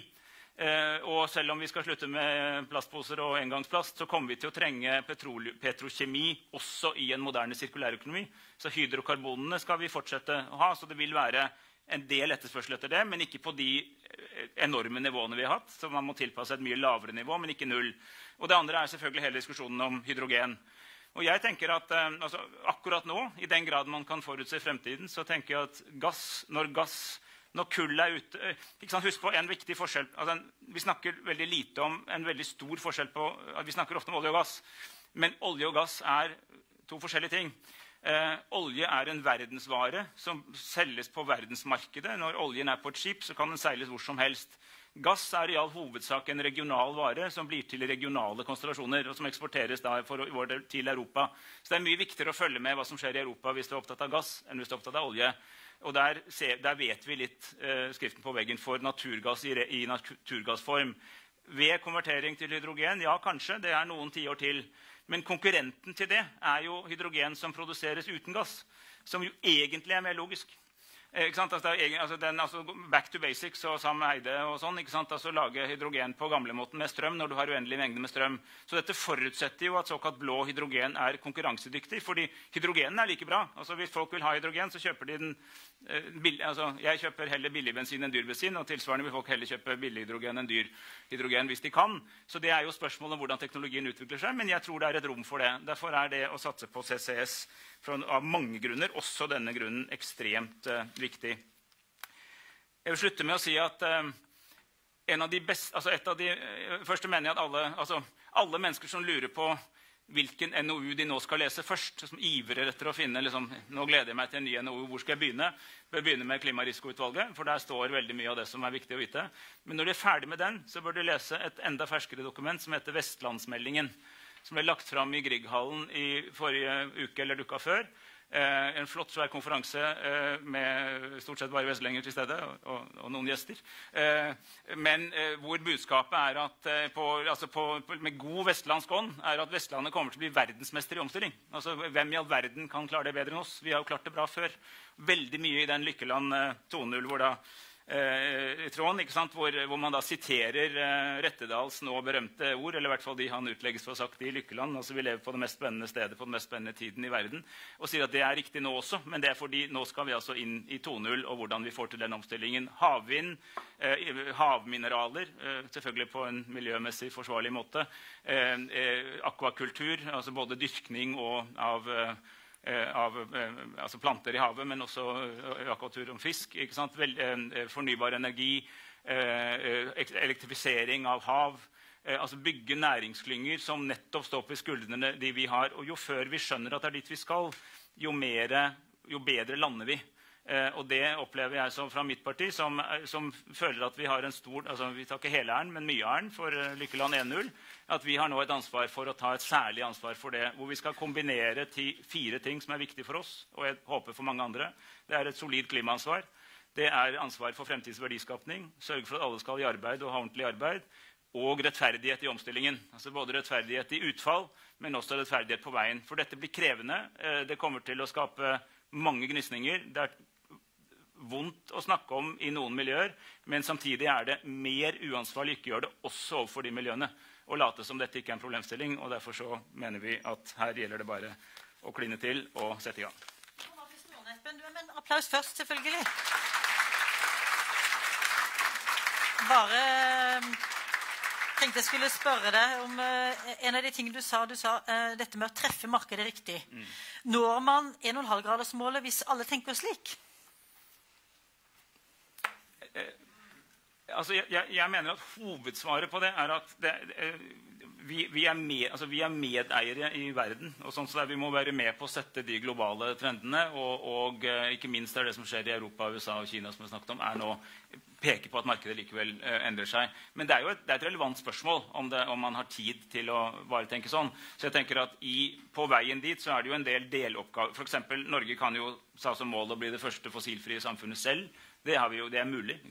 Vi kan altså akselerere utviklingen av alternativ etterspørsel og, og, altså, Samtidig som vi lager nye næringsklynger, så kan vi også lage nye næringsklynger nettopp i de områdene som bidrar til å erstatte. Så, men jeg skjønner spørsmålet. Ja. Bør man gjøre noe med tildelingspolitikken, eller bør man tenke at man istedenfor å investere og reinvestere i fossil energi, kunne tatt de samme midlene og reinvestert i noe annet?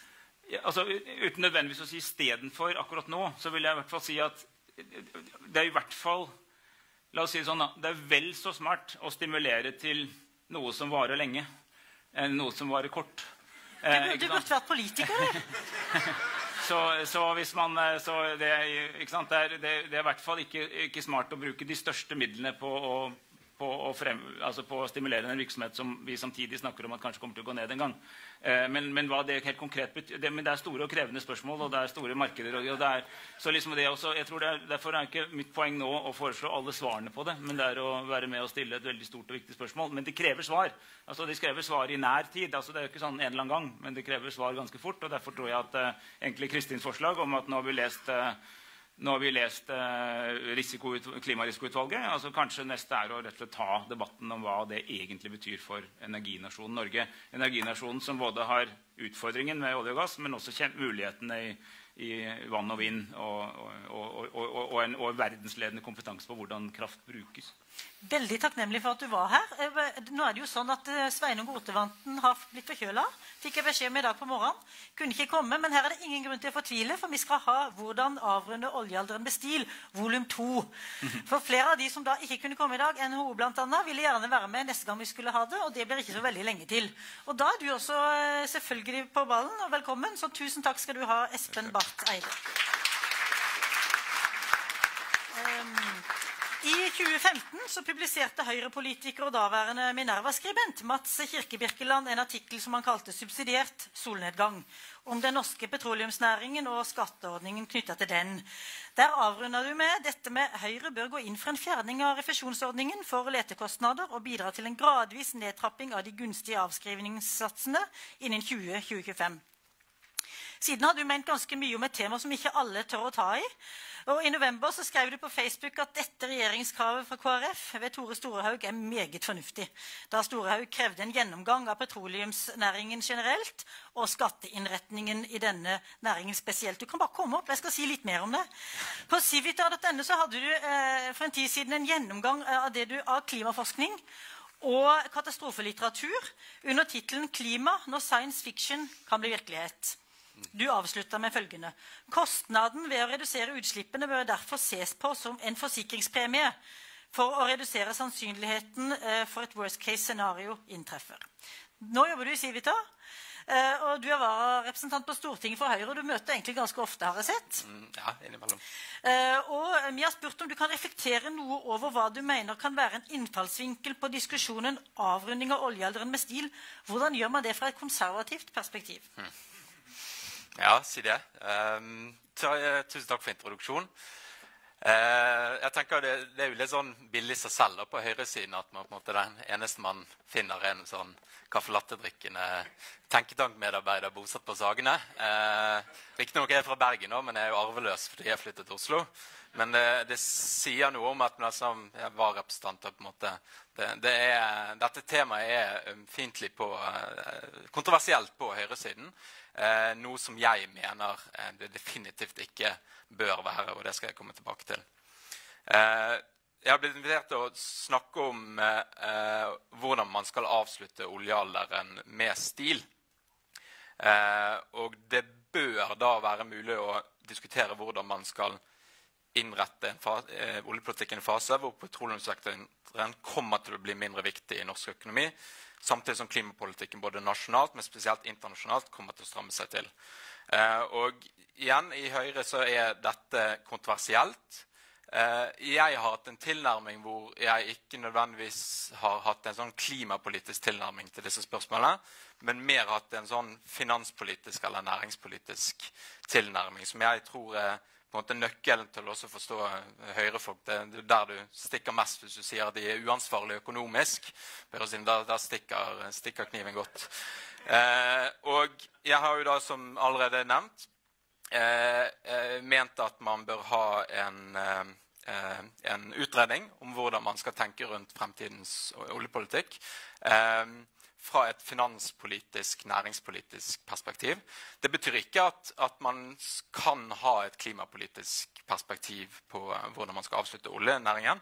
Men, men det, dere er sikkert uenig i det, eller i hvert fall veldig mange uenige. Men jeg mener på en måte en klimapolitisk tilnærming allerede i dag er ganske godt dekket gjennom at norsk sokkel både tilhører uh, kvotepliktig sektor, uh, men også har svært høye CO2-avgifter.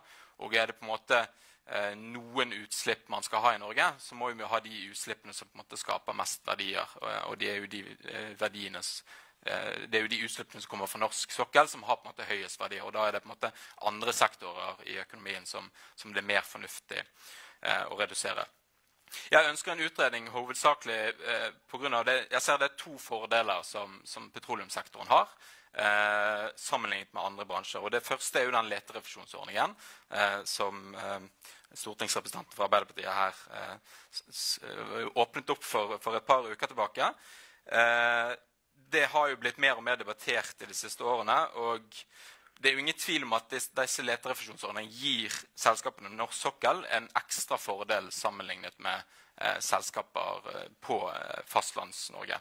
Fordi den favoriserer jo da petroleumsselskaper med underskudd relativt til fastlandsselskaper med underskudd.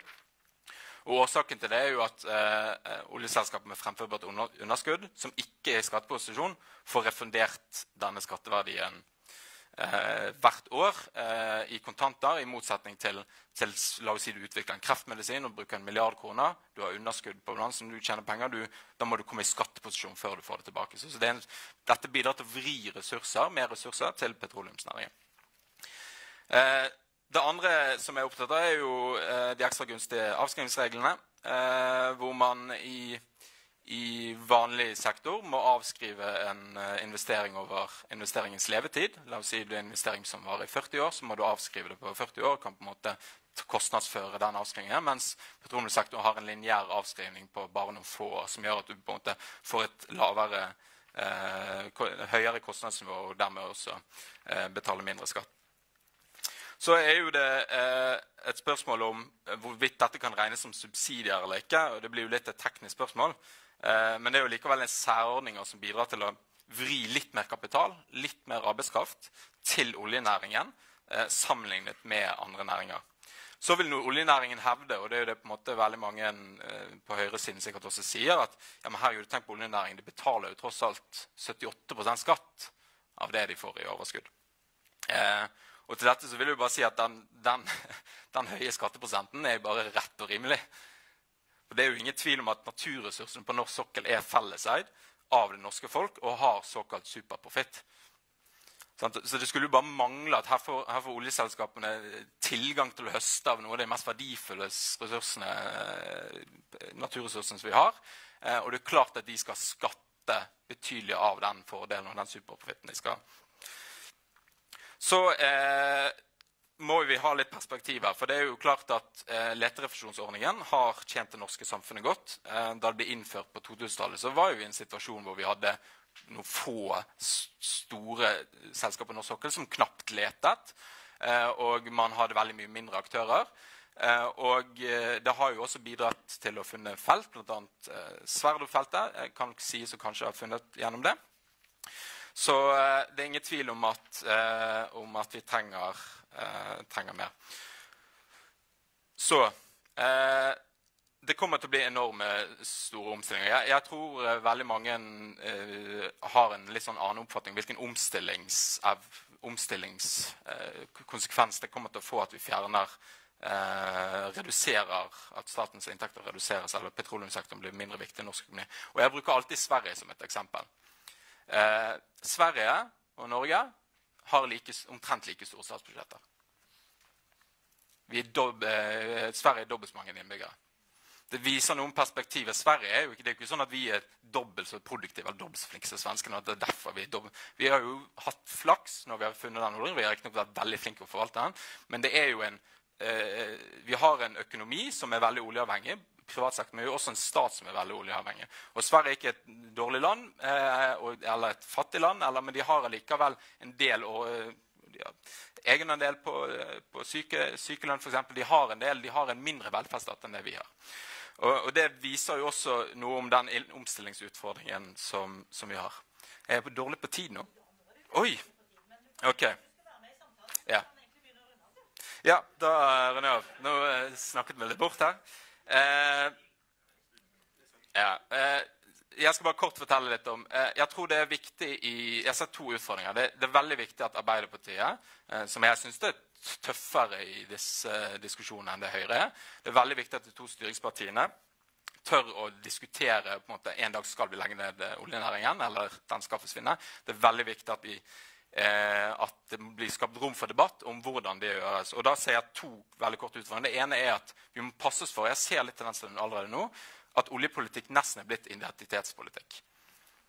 Og det, det, er en, det, en, tilnærming hvor du, enten er du for eller imot oljenæringa, avhengig av hvilken identitet du har. Det, det, må være mulig å ha to, hoder, to tanker i hodet på en gang. Det må være mulig å være for eh, vern av Lofoten Vesterålen, men samtidig åpning for nye tildelinger. Eller for eksempel, En annen greie er jo at for eksempel, jeg ønsker å redusere statens risiko ved å for eh, selge andeler i aksjer i Statoil eller redusere Petoros eierandeler for å på en måte få de inn i oljefondet nå som de har verdi. Men da blir jeg anklaget fra venstresiden å være mørkeblå høyremann som ønsker å eh, selge statens arvesølv. Så altså det, debatten her er jeg liksom ikke klar for å ta denne diskusjonen. Eh, men jeg håper på en måte jeg har bidratt litt her nå eh, og gi et lite spark til, til mitt parti. Eh, så eh, åpner jeg for spørsmål. Ja. Tusen takk skal du ha. Tipp topp. Eh, Nå er det jo ikke sånn at vi spurte så veldig mange andre enn deg om å komme, men det kan vi komme tilbake til. Eh, vedkommende som vi spurte, kommer neste gang. Men det kan vi også komme tilbake til. Nå skal vi ha samtale. Hilde, da kan, Anders, skal du ta bort det bordet der? Hildegunn Blindheim, du kan komme opp. Still Stille deg rundt bordet. Du er da klima- og miljødirektør i Norsk olje og gass og en del av ledelsen der. Eh, vi må dele litt på mikkene her i dag, nå kan du få den. Så hvis du står her, sånn, og så Det var flott. Da kan du ta den. Så, og da kan du stille deg ved siden av Mats. Så er det da eh, Hilde Øvrebekk kan komme opp. Du er kommentator i Stavanger eh, Aftenblad, og der har du jobba i åtte år.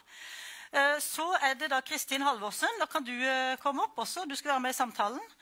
Og Anders Bjartnes, du kan komme opp. Skal vi se åssen det blir da med mikkene. Da kan Mats stå her. Hildegunn kan stå her, og dere tre må dele på den mikken der. Det går fint. Ehm, Jeg begynner med Hildegunn Blindheim.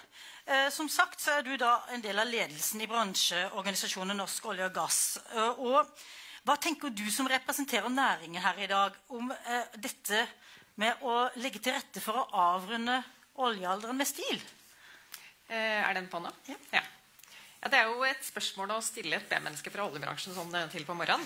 Eh, men eh, eh, vi snakker jo Jeg opplever nok ofte debatten i Norge som to ting. Ikke sant? Man kan styre avviklingen på to måter i all hovedsak. Det er å la markedet styre avviklingen.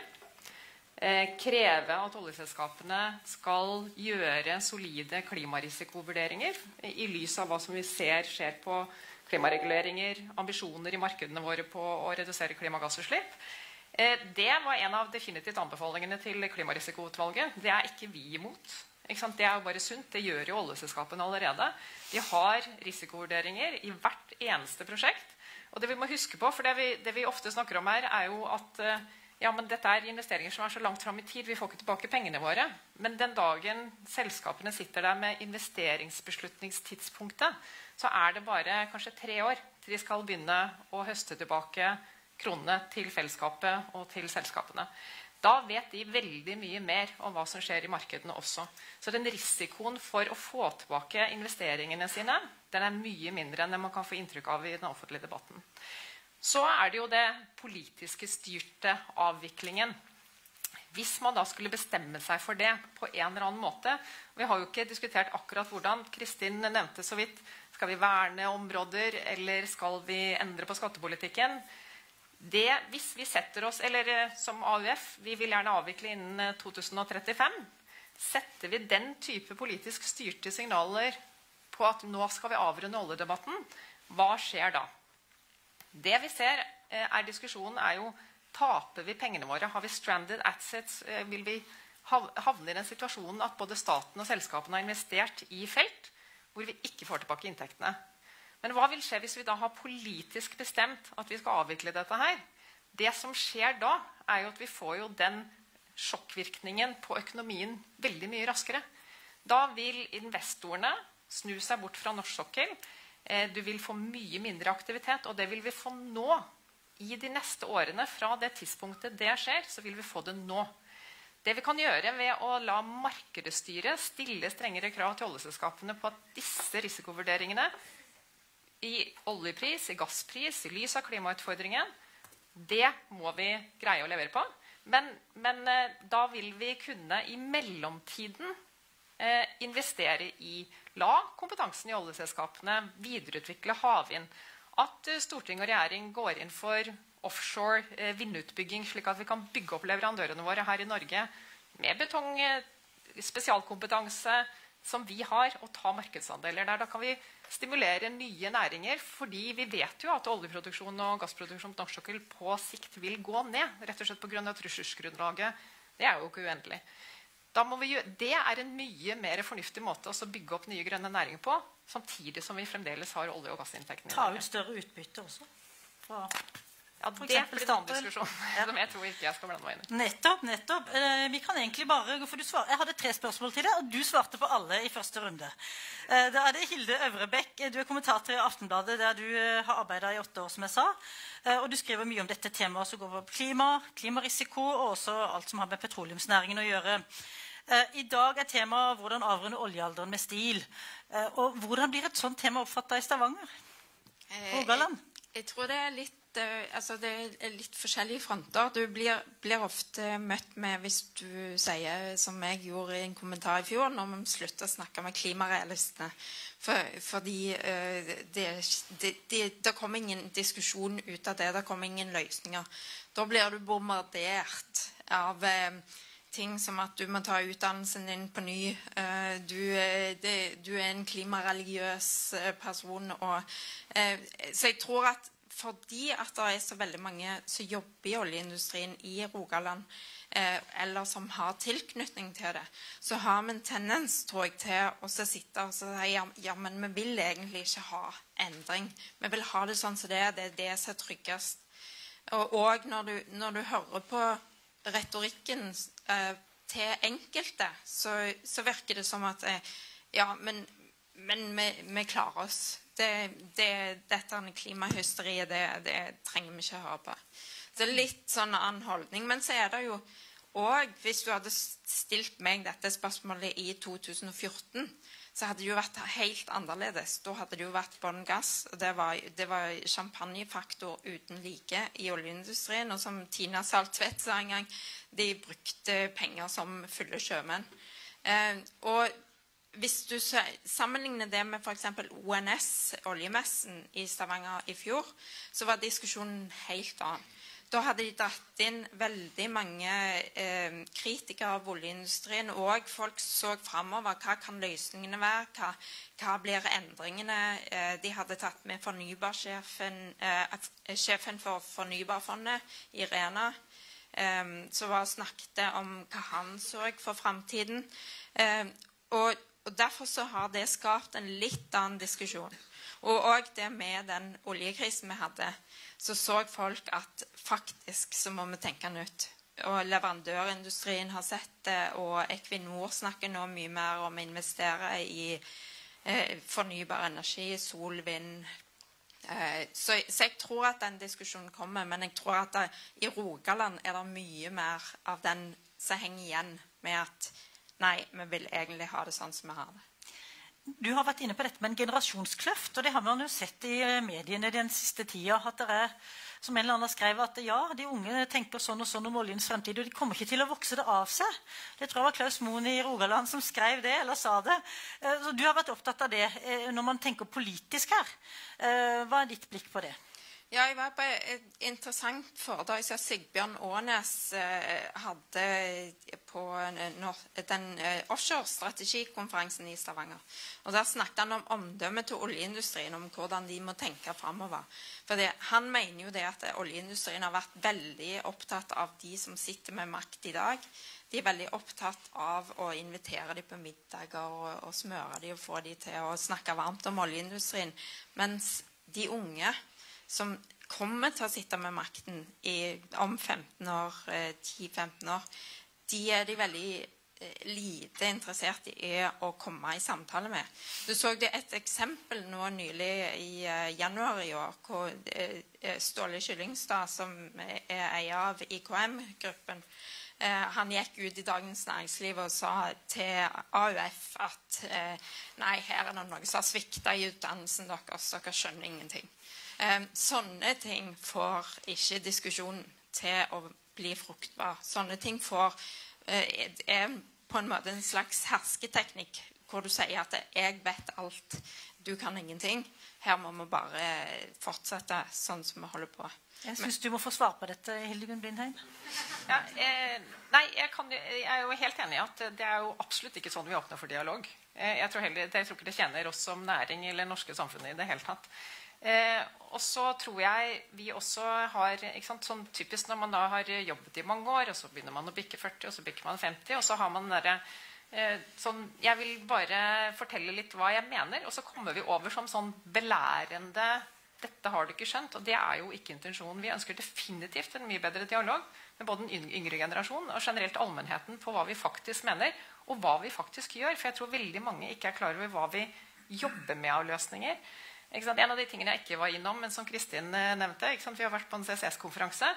Eh, det vi står overfor, er at vi både må redusere utslippene på norsk sokkel, men vi må også pga. markedsendringer og etterspørselsrisiko tenke sluttprodukter. Da, hva gjør næringen da? De både bygger flere bein å stå på, går inn i vind, noen går inn i sol. Eh, noen jobber med nettopp CCS og hydrogen fra naturgass.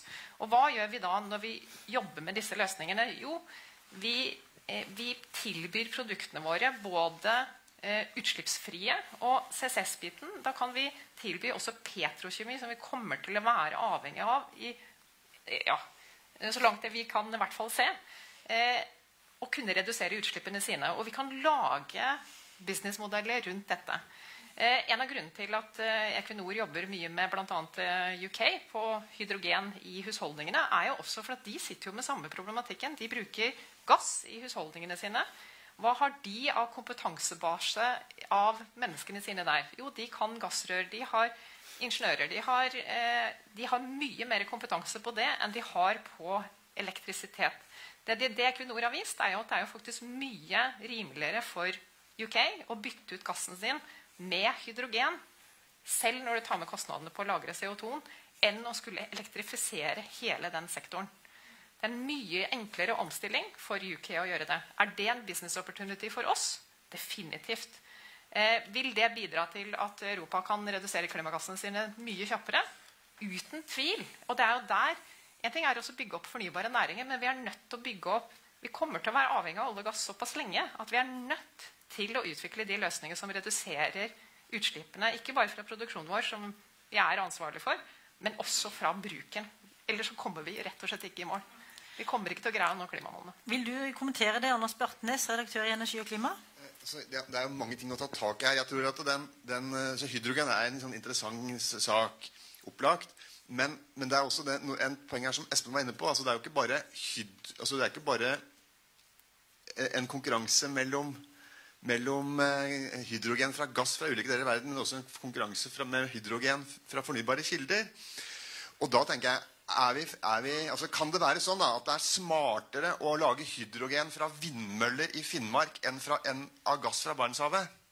Altså at det er en konkur mer konkurransedyktig konsept å tenke rent fornybart enn å bruke masse ressurser og arbeidskraft på å, å, å, å hente opp den gassen.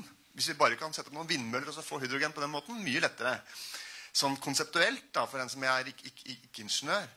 Men sånn at, det er ikke noe og, de, og, den diskusjonen her er jeg er redd for at den skal ende opp med at vi på en måte skaper et, eh, en sånn tanke om at noe kan komme til å bli noe stort et eller annet sted i framtida, og så fortsette som før. Altså At denne hydrogensaken blir en unnskyldning for å drive videre akkurat som vi har gjort. Eh, fordi at det kanskje er en mulighet langt fram i tid. Blindheim? Eh, jeg må gjerne kommentere på det nå. Det er to ting. En ting er eh, å utvikle disse løsningene. Det skal være liksom en unnskyldning for å, å, gå videre med oljebransjen. Men det mener jeg går rett inn i det Espen snakket om. Dette er Lykkeland 2.0. Hvis vi da skal sette det så på spissen. Hvis vi kan faktisk utvikle produktene våre og produksjonen vår med lave utslipp Vi snakker jo ikke om å fase ut olje og gass av prinsipp. Det vi er ute etter, er jo å redusere utslippene. Eh, når det gjelder elektrolyse og naturgass, så tror jeg de, de løsningene kommer til å gå hånd i hånd. En ting er at nå, Når Europa bruker så mye ressurser på å bygge opp fornybar energi, så mener jeg at vi skal ikke begynne hvor, hvor, mye er det i Europa nå? Omtrent 25 eh, Og de har ambisjoner om å øke det drastisk. Skal vi da begynne å spise av den rene fornybare energien for å lage hydrogen? Er det er det, det lureste å gjøre i starten? Det tror ikke jeg. En annen ting er, er skalaen her. Skal vi virkelig greie og Selv Europa i Clean Planet for All er jo helt tydelig på at de trenger hydrogen. De trenger CCS. Eh, da må vi ha begge deler. Og jeg tror hydrogen fra elektrolyse i områder hvor det da er innestengt strøm, er veldig fornuftig. Jeg tror vi kan samarbeide med nettopp å få opp den hydrogenøkonomien og den hydrogensatsingen til Europa. Jeg tror ikke vi skal bare se på det som en konkurranse mellom de to. Og så kan man jo se da mange tiår fram. Kanskje vi har da investorer som har overoppbygd i altfor mye fornybar infrastruktur, så kan vi begynne å lage hydrogen fra fornybare kilder. Nå trenger vi å bruke fornybare kilder til å erstatte kull og erstatte de verste bitene. Jeg mener de ja. Dette kan vi, ha, vi har jo egentlig snakka om å ha en klimafokus om dette temaet også. Det syns jeg vi skal, faktisk. Eh, skulle du si noe annet? Da blir det veldig kjapt, for nå er det Kristin sin tur. Ja. Da, det skal spille en ball til Kristin. For, og det er den diskusjonen om Lofoten. Fordi at i, altså, I finansielle termer 100 milliarder kroner er jo nesten ingenting. hvis du ser det som en, en eh, Jo, men det er i forhold til oljefondets størrelse. Det er liksom, ok, det er ikke mye penger. Men i forhold til arbeidsplasser i leverandørindustri og i all, altså all, alt som omkranser oljen, så kan jo Lofoten vise seg å bli en veldig viktig sak eh, noen år fram i tid. Altså at den kommer på et punkt der det er behov for ny aktivitet. Da. Hvordan ville du håndtert den hvis du var finansminister? Nei, altså, Lofoten eh, det, det kommer det, den, det politiske flertallet som sier ja, søren, nå skal vi starte her, det kommer ikke til å oppstå. Altså, det tror jeg ikke noe på. Og når Arbeiderpartiet nå skal ha landsmøte og denne saken kommer opp, så tenker jeg ok, send meg en takk.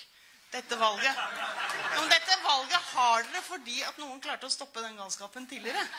Så det, nei, det, Man må selvfølgelig alltid være i beredskap, men jeg kan liksom ikke se for meg at vi blir så i beit. da. Men la meg, eh, la meg bare komme med et par, eh, par kommentarer. Det med generasjonsskiftet her, det ser vi veldig tydelig. For vi er i ferd med å bygge opp en stor sånn monitorundersøkelse, spørreundersøkelse med 4000 respondenter. Og vi skal gjenta den årlig.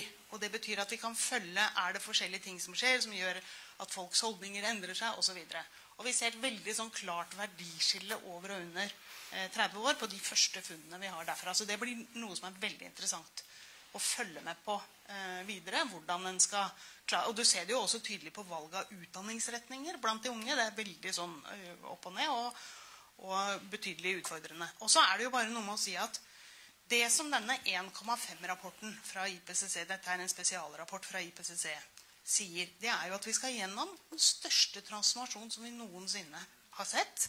Og vi har aldri gjort noe lignende før. Og det betyr at vi egentlig må ha alt.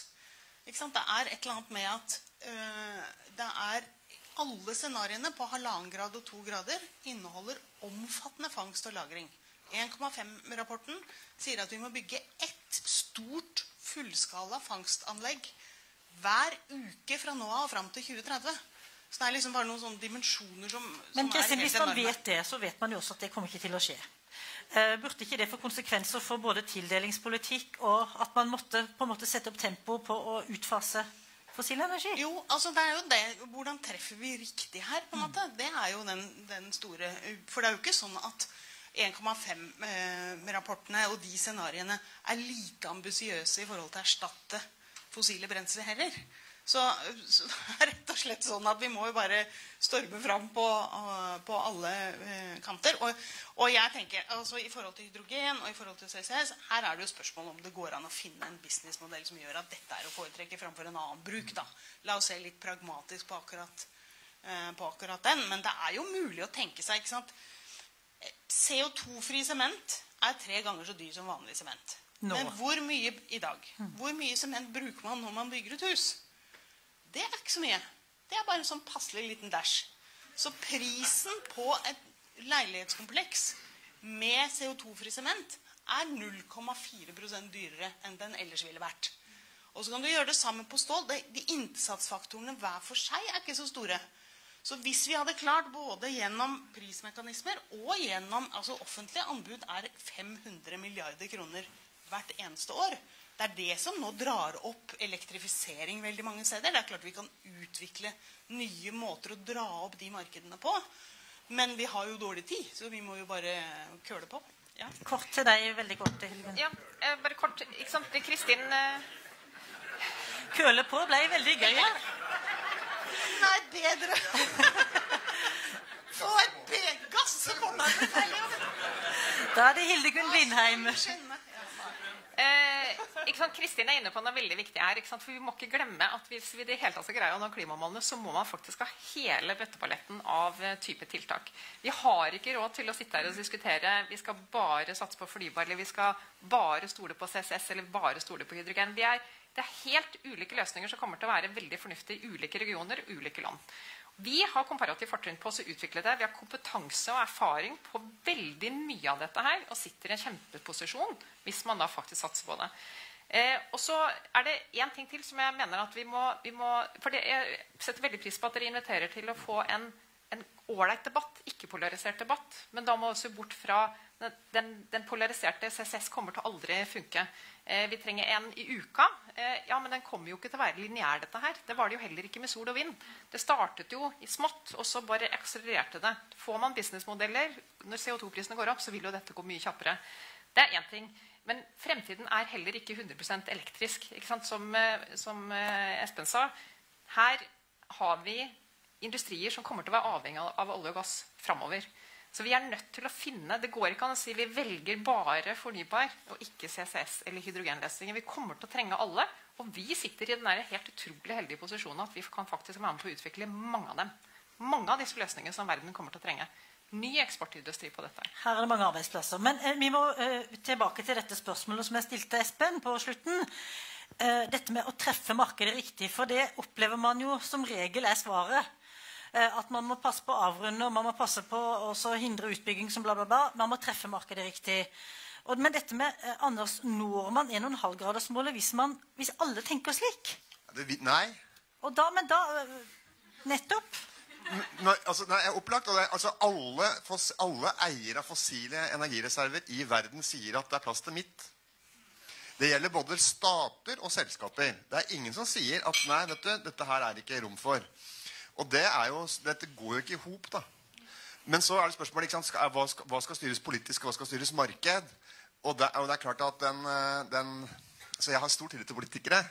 Men er, jeg, jeg har for min del mer tro på at markedsaktører er bedre til å vurdere markedsutsikter enn politikere er. Og så er spørsmålet hva slags ramme lager vi rundt uh, dette da, for å få, få gjort de gjort uh, vurderinger ja, for politikken kan jo lage rammene for markedet også. Sånn at det er jo, ja. Mm. Mm.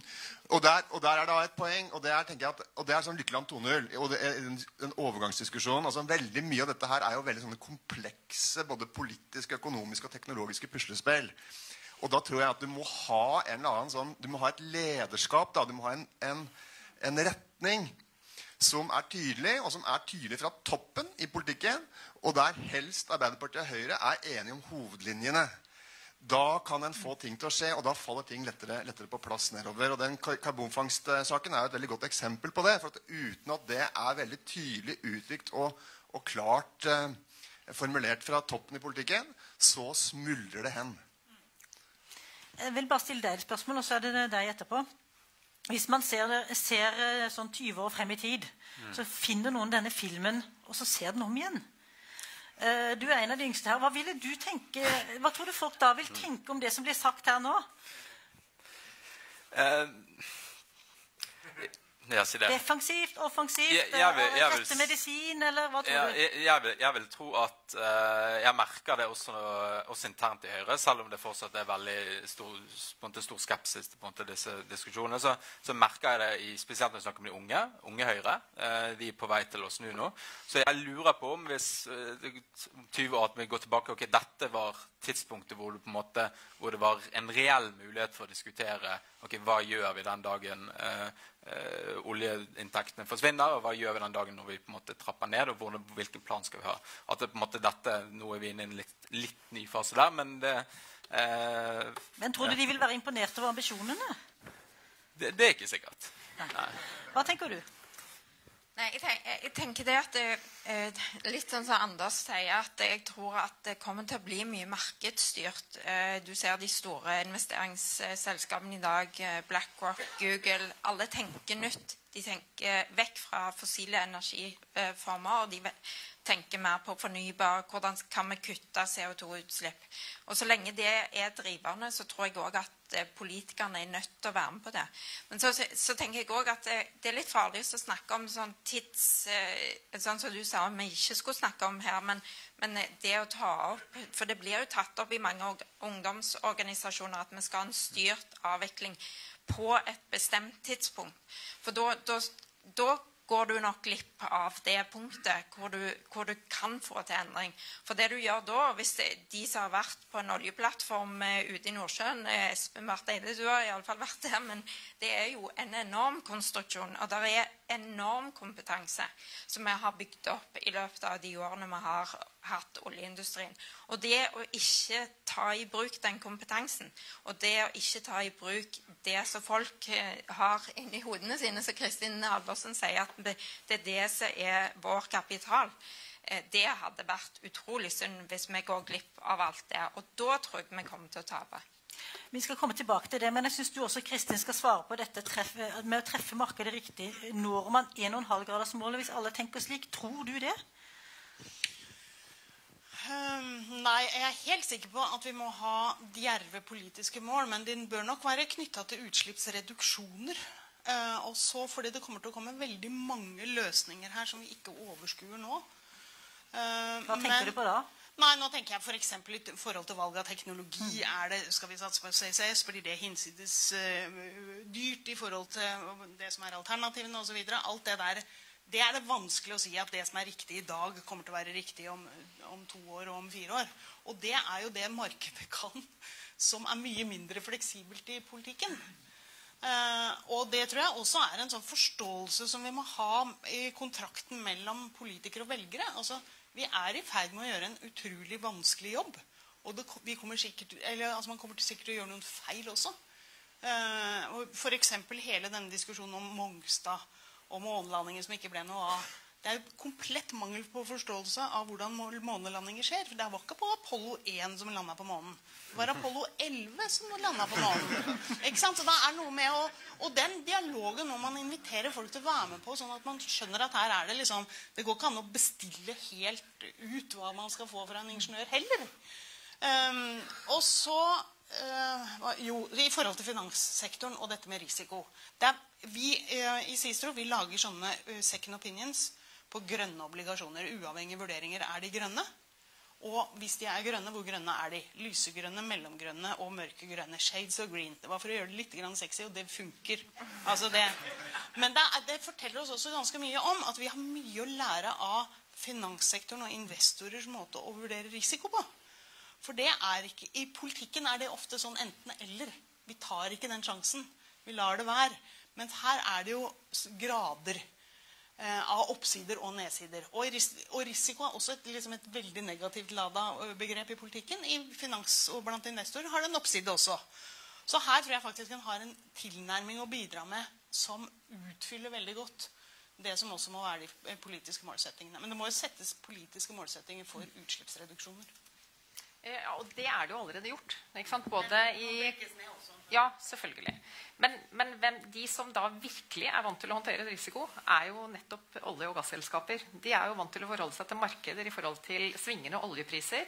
Eh, de vet jo nettopp hvordan de skal de, Mener de at risikoen pga. et eller annet er høy, så setter de da desto høyere avkastningskrav.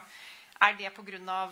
Eh, forventede klima, eh, strengere klimareguleringer, så vil da den bli høy innenfor det. Og Klimarisikoutvalget til Skanke var jo helt tydelig på at de mener at det er veldig godt ivaretatt på hvordan olje- og gasselskapene eh, vurderer risiko i forhold til stranded assets, eller om de får tilbake midlene sine. Og så er det, jeg mener, Du er en av de som virkelig kan snakke om CCS framover, men vi må slutte å si at dette her er så innmari kostbart. I forhold til en del av de andre satsingene vi har gjort, så er faktisk ikke CCS kostbart. Når vi ser både potensialet og hvor mye CO2 det kan bare på de to anleggene som vi nå håper går gjennom. Hvis, det, det H21, den hydrogenutredningen til Equinor og Northern Gas Networks i UK viste, var jo at konverterer vi naturgassen, bygger opp dette her og gjenbruker infrastrukturen til gassen, så er dette bare en liten påplussing i energy-billing til de i UK. Mens alternativet å elektrifisere er fryktelig mye dyrere. Så ja, vi må ha så mye fornybar energi. Vi må ikke velge de dyreste løsningene bare fordi det er sol og vind. Eh, og det er ikke så dyrt. Det er mye rimeligere enn det man kan få inntrykk av i den norske debatten. Det skal vi belyse mer eh, seinere. Anders? Det er bare med penger her, for det er klart Perspektivet her blir avgjørende. Altså, det, det, altså, for en, et års leterefusjonsordning da, så får du jo bygd det du trenger av karbonfangst- og lagringsanlegg. Sånn det er jo altså det, er, det, er, det, er, det, er, det er kjempemye penger over streken på statsbudsjettet. Men hvis du velger et annet perspektiv, så er det ikke det. Og det blir igjen da, Skal en, skal en gjøre noen sånne langsiktige strategiske valg og finne ressurser til det, så, så, så er det helt sikkert mulig. Og kanskje også en slags sånn, altså en, forpliktelse fra et land som har hatt så store inntekter fra olje gass som Norge har hatt. da. Det er ikke så mange liksom, ukers, altså mange dagers inntjening til oljefondet som skal til for å løse dette. Så det er en perspektiv som, som, velges i politikken for om noe er kostbart eller, eller, eller billig. Det er viktig å ha med i den diskusjonen. Espen Barth Eide har lyst til å kommentere dette her. Du, du, du er enig? Flott. Det var veldig greit. Da er det Kirke Birkeland. Vil du si noe? Jo, eh, jeg kan si noe, fordi eh, jeg er på en måte enig med Norsk olje og gass på en måte at det er litt viktig at det er bedriftene og oljeselskapene som er best å vurdere risiko, og det er på en måte markedet som skal styre dette. Men, men likevel så er det politikerne som på en måte setter, setter rammene for de bedriftene, eh, for hvordan bedriftene skal agere. da. Eh, og da er det, må være mulig å da, For det eneste det er vanskelig å spå om fremtiden. Sant? og jeg skal ikke begynne å spå, Men det er noe vi vet. Sant? Vi vet at okay, det er viss høyere risiko for stranded assets. Det, den risikoen er litt høyere. Så, så, er det spørsmålet ok, eh, Hvis det er litt økt risiko, er det da riktig at måte, staten skal være eh, like stor andel av å ta den risikoen som det det har vært nå? Eh, eller er det mer riktig at det, kanskje mer enn den risikoen bør gå, på, gå til oljeselskapene? Men da må man også tenke rundt, nytt rundt skattepolitikk. For det kan godt tenkes at nye feltandeler i norsk økonomi kan ha en annen skattepolitikk enn eksisterende. Hvor man f.eks. har eh, har eh, staten reduserer sin risiko, men også gjennom en salg av eh, Statoil. Men hvor eh, hvis bedriftene og de med risiko, så må de også få mer av gevinsten. Men det, det, må vi også akseptere, gitt at det er også de som tar den økte risikoen. Mm. Kort. Ja, men kom igjen. Hvis du, hvis du klarer det med ett minutt, så er det greit. Det er helsemessige grunner til at du må få si noe her nå. Nei, altså siden jeg ble invitert. da. Nei, Jeg hadde bare lyst til å si at jeg syns det Anders sier, er veldig riktig og viktig å lytte til. at CC og, og, og Hildegunn, altså CCS er ikke så dyrt i den store sammenhengen. Eh, og, jeg, og, det jeg tror vi bare må ta inn over oss, er at all den tid vi det store flertall er enige om at vi ikke skal avvikle, så må vi si, ha et svar både internt og eksternt på hva gjør vi da. Altså Hva gjør Norge istedenfor å avvikle? Og, og, da må man ha noen gode svar på det. Det kan faktisk være relevant i, for, i forhold til fremtidige sånne klimasøksmål. Hva gjorde dere?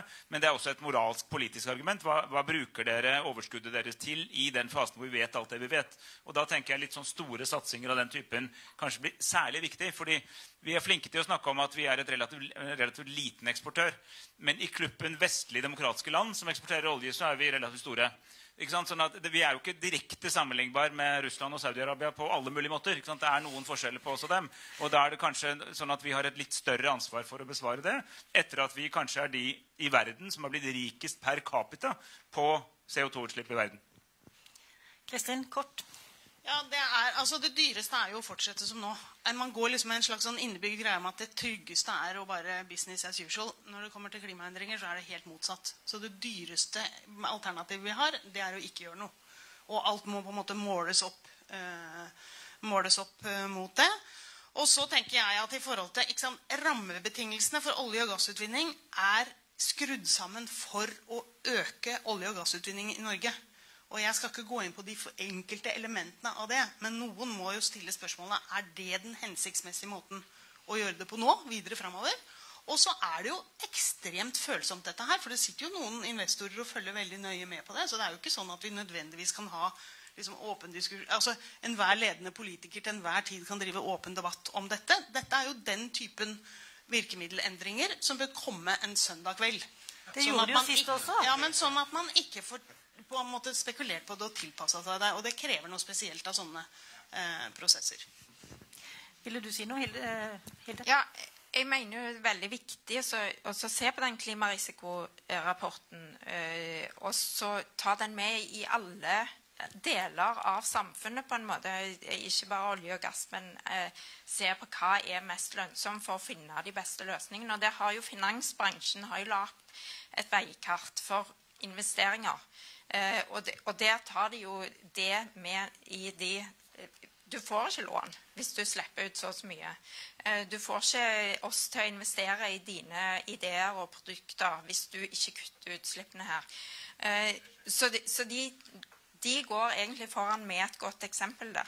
Og når du ser på leterefusjonsordningen, og sånn, så, så tror jeg òg du må kunne diskutere det. Oljeindustrien må kunne diskutere det. Eh, de politiske partiene som er imot det i dag, bør kunne diskutere det. fordi at når du skal helt opp nord i Barentshavet, så er det en betydelig klimarisiko. Og der snakker du så mange år fram i tid at du snakker ikke om, om, bare den risikoen med å bygge ut der, men du snakker jo òg om de geopolitiske strømningene med hvordan eh, skifer gass og olje vil påvirke hele markedet i årene framover. Det er så mange usikkerheter der. Men med, skal, Det siste spørsmålet er egentlig mer en kommentar, for nå er klokka ti. Eh, gikk det an å se for seg da at man hadde leterefusjon knytta til allerede eksisterende inn, og nedbetalt infrastruktur? At man droppa leterefusjonsordning for eh, helt nye felt, som ligger langt frem i tid, og som er dyrt? Supernerdete måte å gjøre det på. Da. Men det er klart, det er den type kompromisser som, eh, som en vil se komme ut av en ny sånn oljeutredning som vi vil komme til å få. Altså Hvor fort den kommer, det får vi se. Men det, at det kommer til å være behov for altså sånn kunnskapsbasert politikkutvikling med NOU-er og utvalg og partssammensatte og alt mulig rart, det er jeg helt sikker på. Og det er òg en måte å sivilisere denne politiske diskusjonen på i Norge. ikke sant? At vi har sånne prosesser som tar litt tid, men som samler folk sammen. Og så isolerer vi de vanskelige tinga og krangler om det, men så er vi enige om mange av hovedlinjene. Og det er derfor dette her landet kommer til å altså fortsette å være et lykkeland. Og så vil jeg si, før dere ja, Applaus skal du få etterpå, men det som jeg tenker da, er at nå lar vi næringen, eh, som skal gjennom omstillingen, få det siste ordet. Ja, jeg, jo, jeg, må jo nesten kommentere at eh, jeg syns ikke akkurat det er et kompromiss hvis vi skulle da eh, skrote leterefusjonsordningen for hele Barentshavet. Det, det, er jo absolutt ikke et kompromiss. Det er jo nettopp et sånt signal som vil skremme investorene fra dag én fra norsk sokkel. Og det er jo ikke det vi ønsker når vi faktisk ønsker å bygge opp eh, nye næringer. Her er det mange hensyn å ta. Det viktigste for Norsk Klimastiftelse er å bidra til å minske CO2-utslippene og få fram teknologi som hjelper oss dit.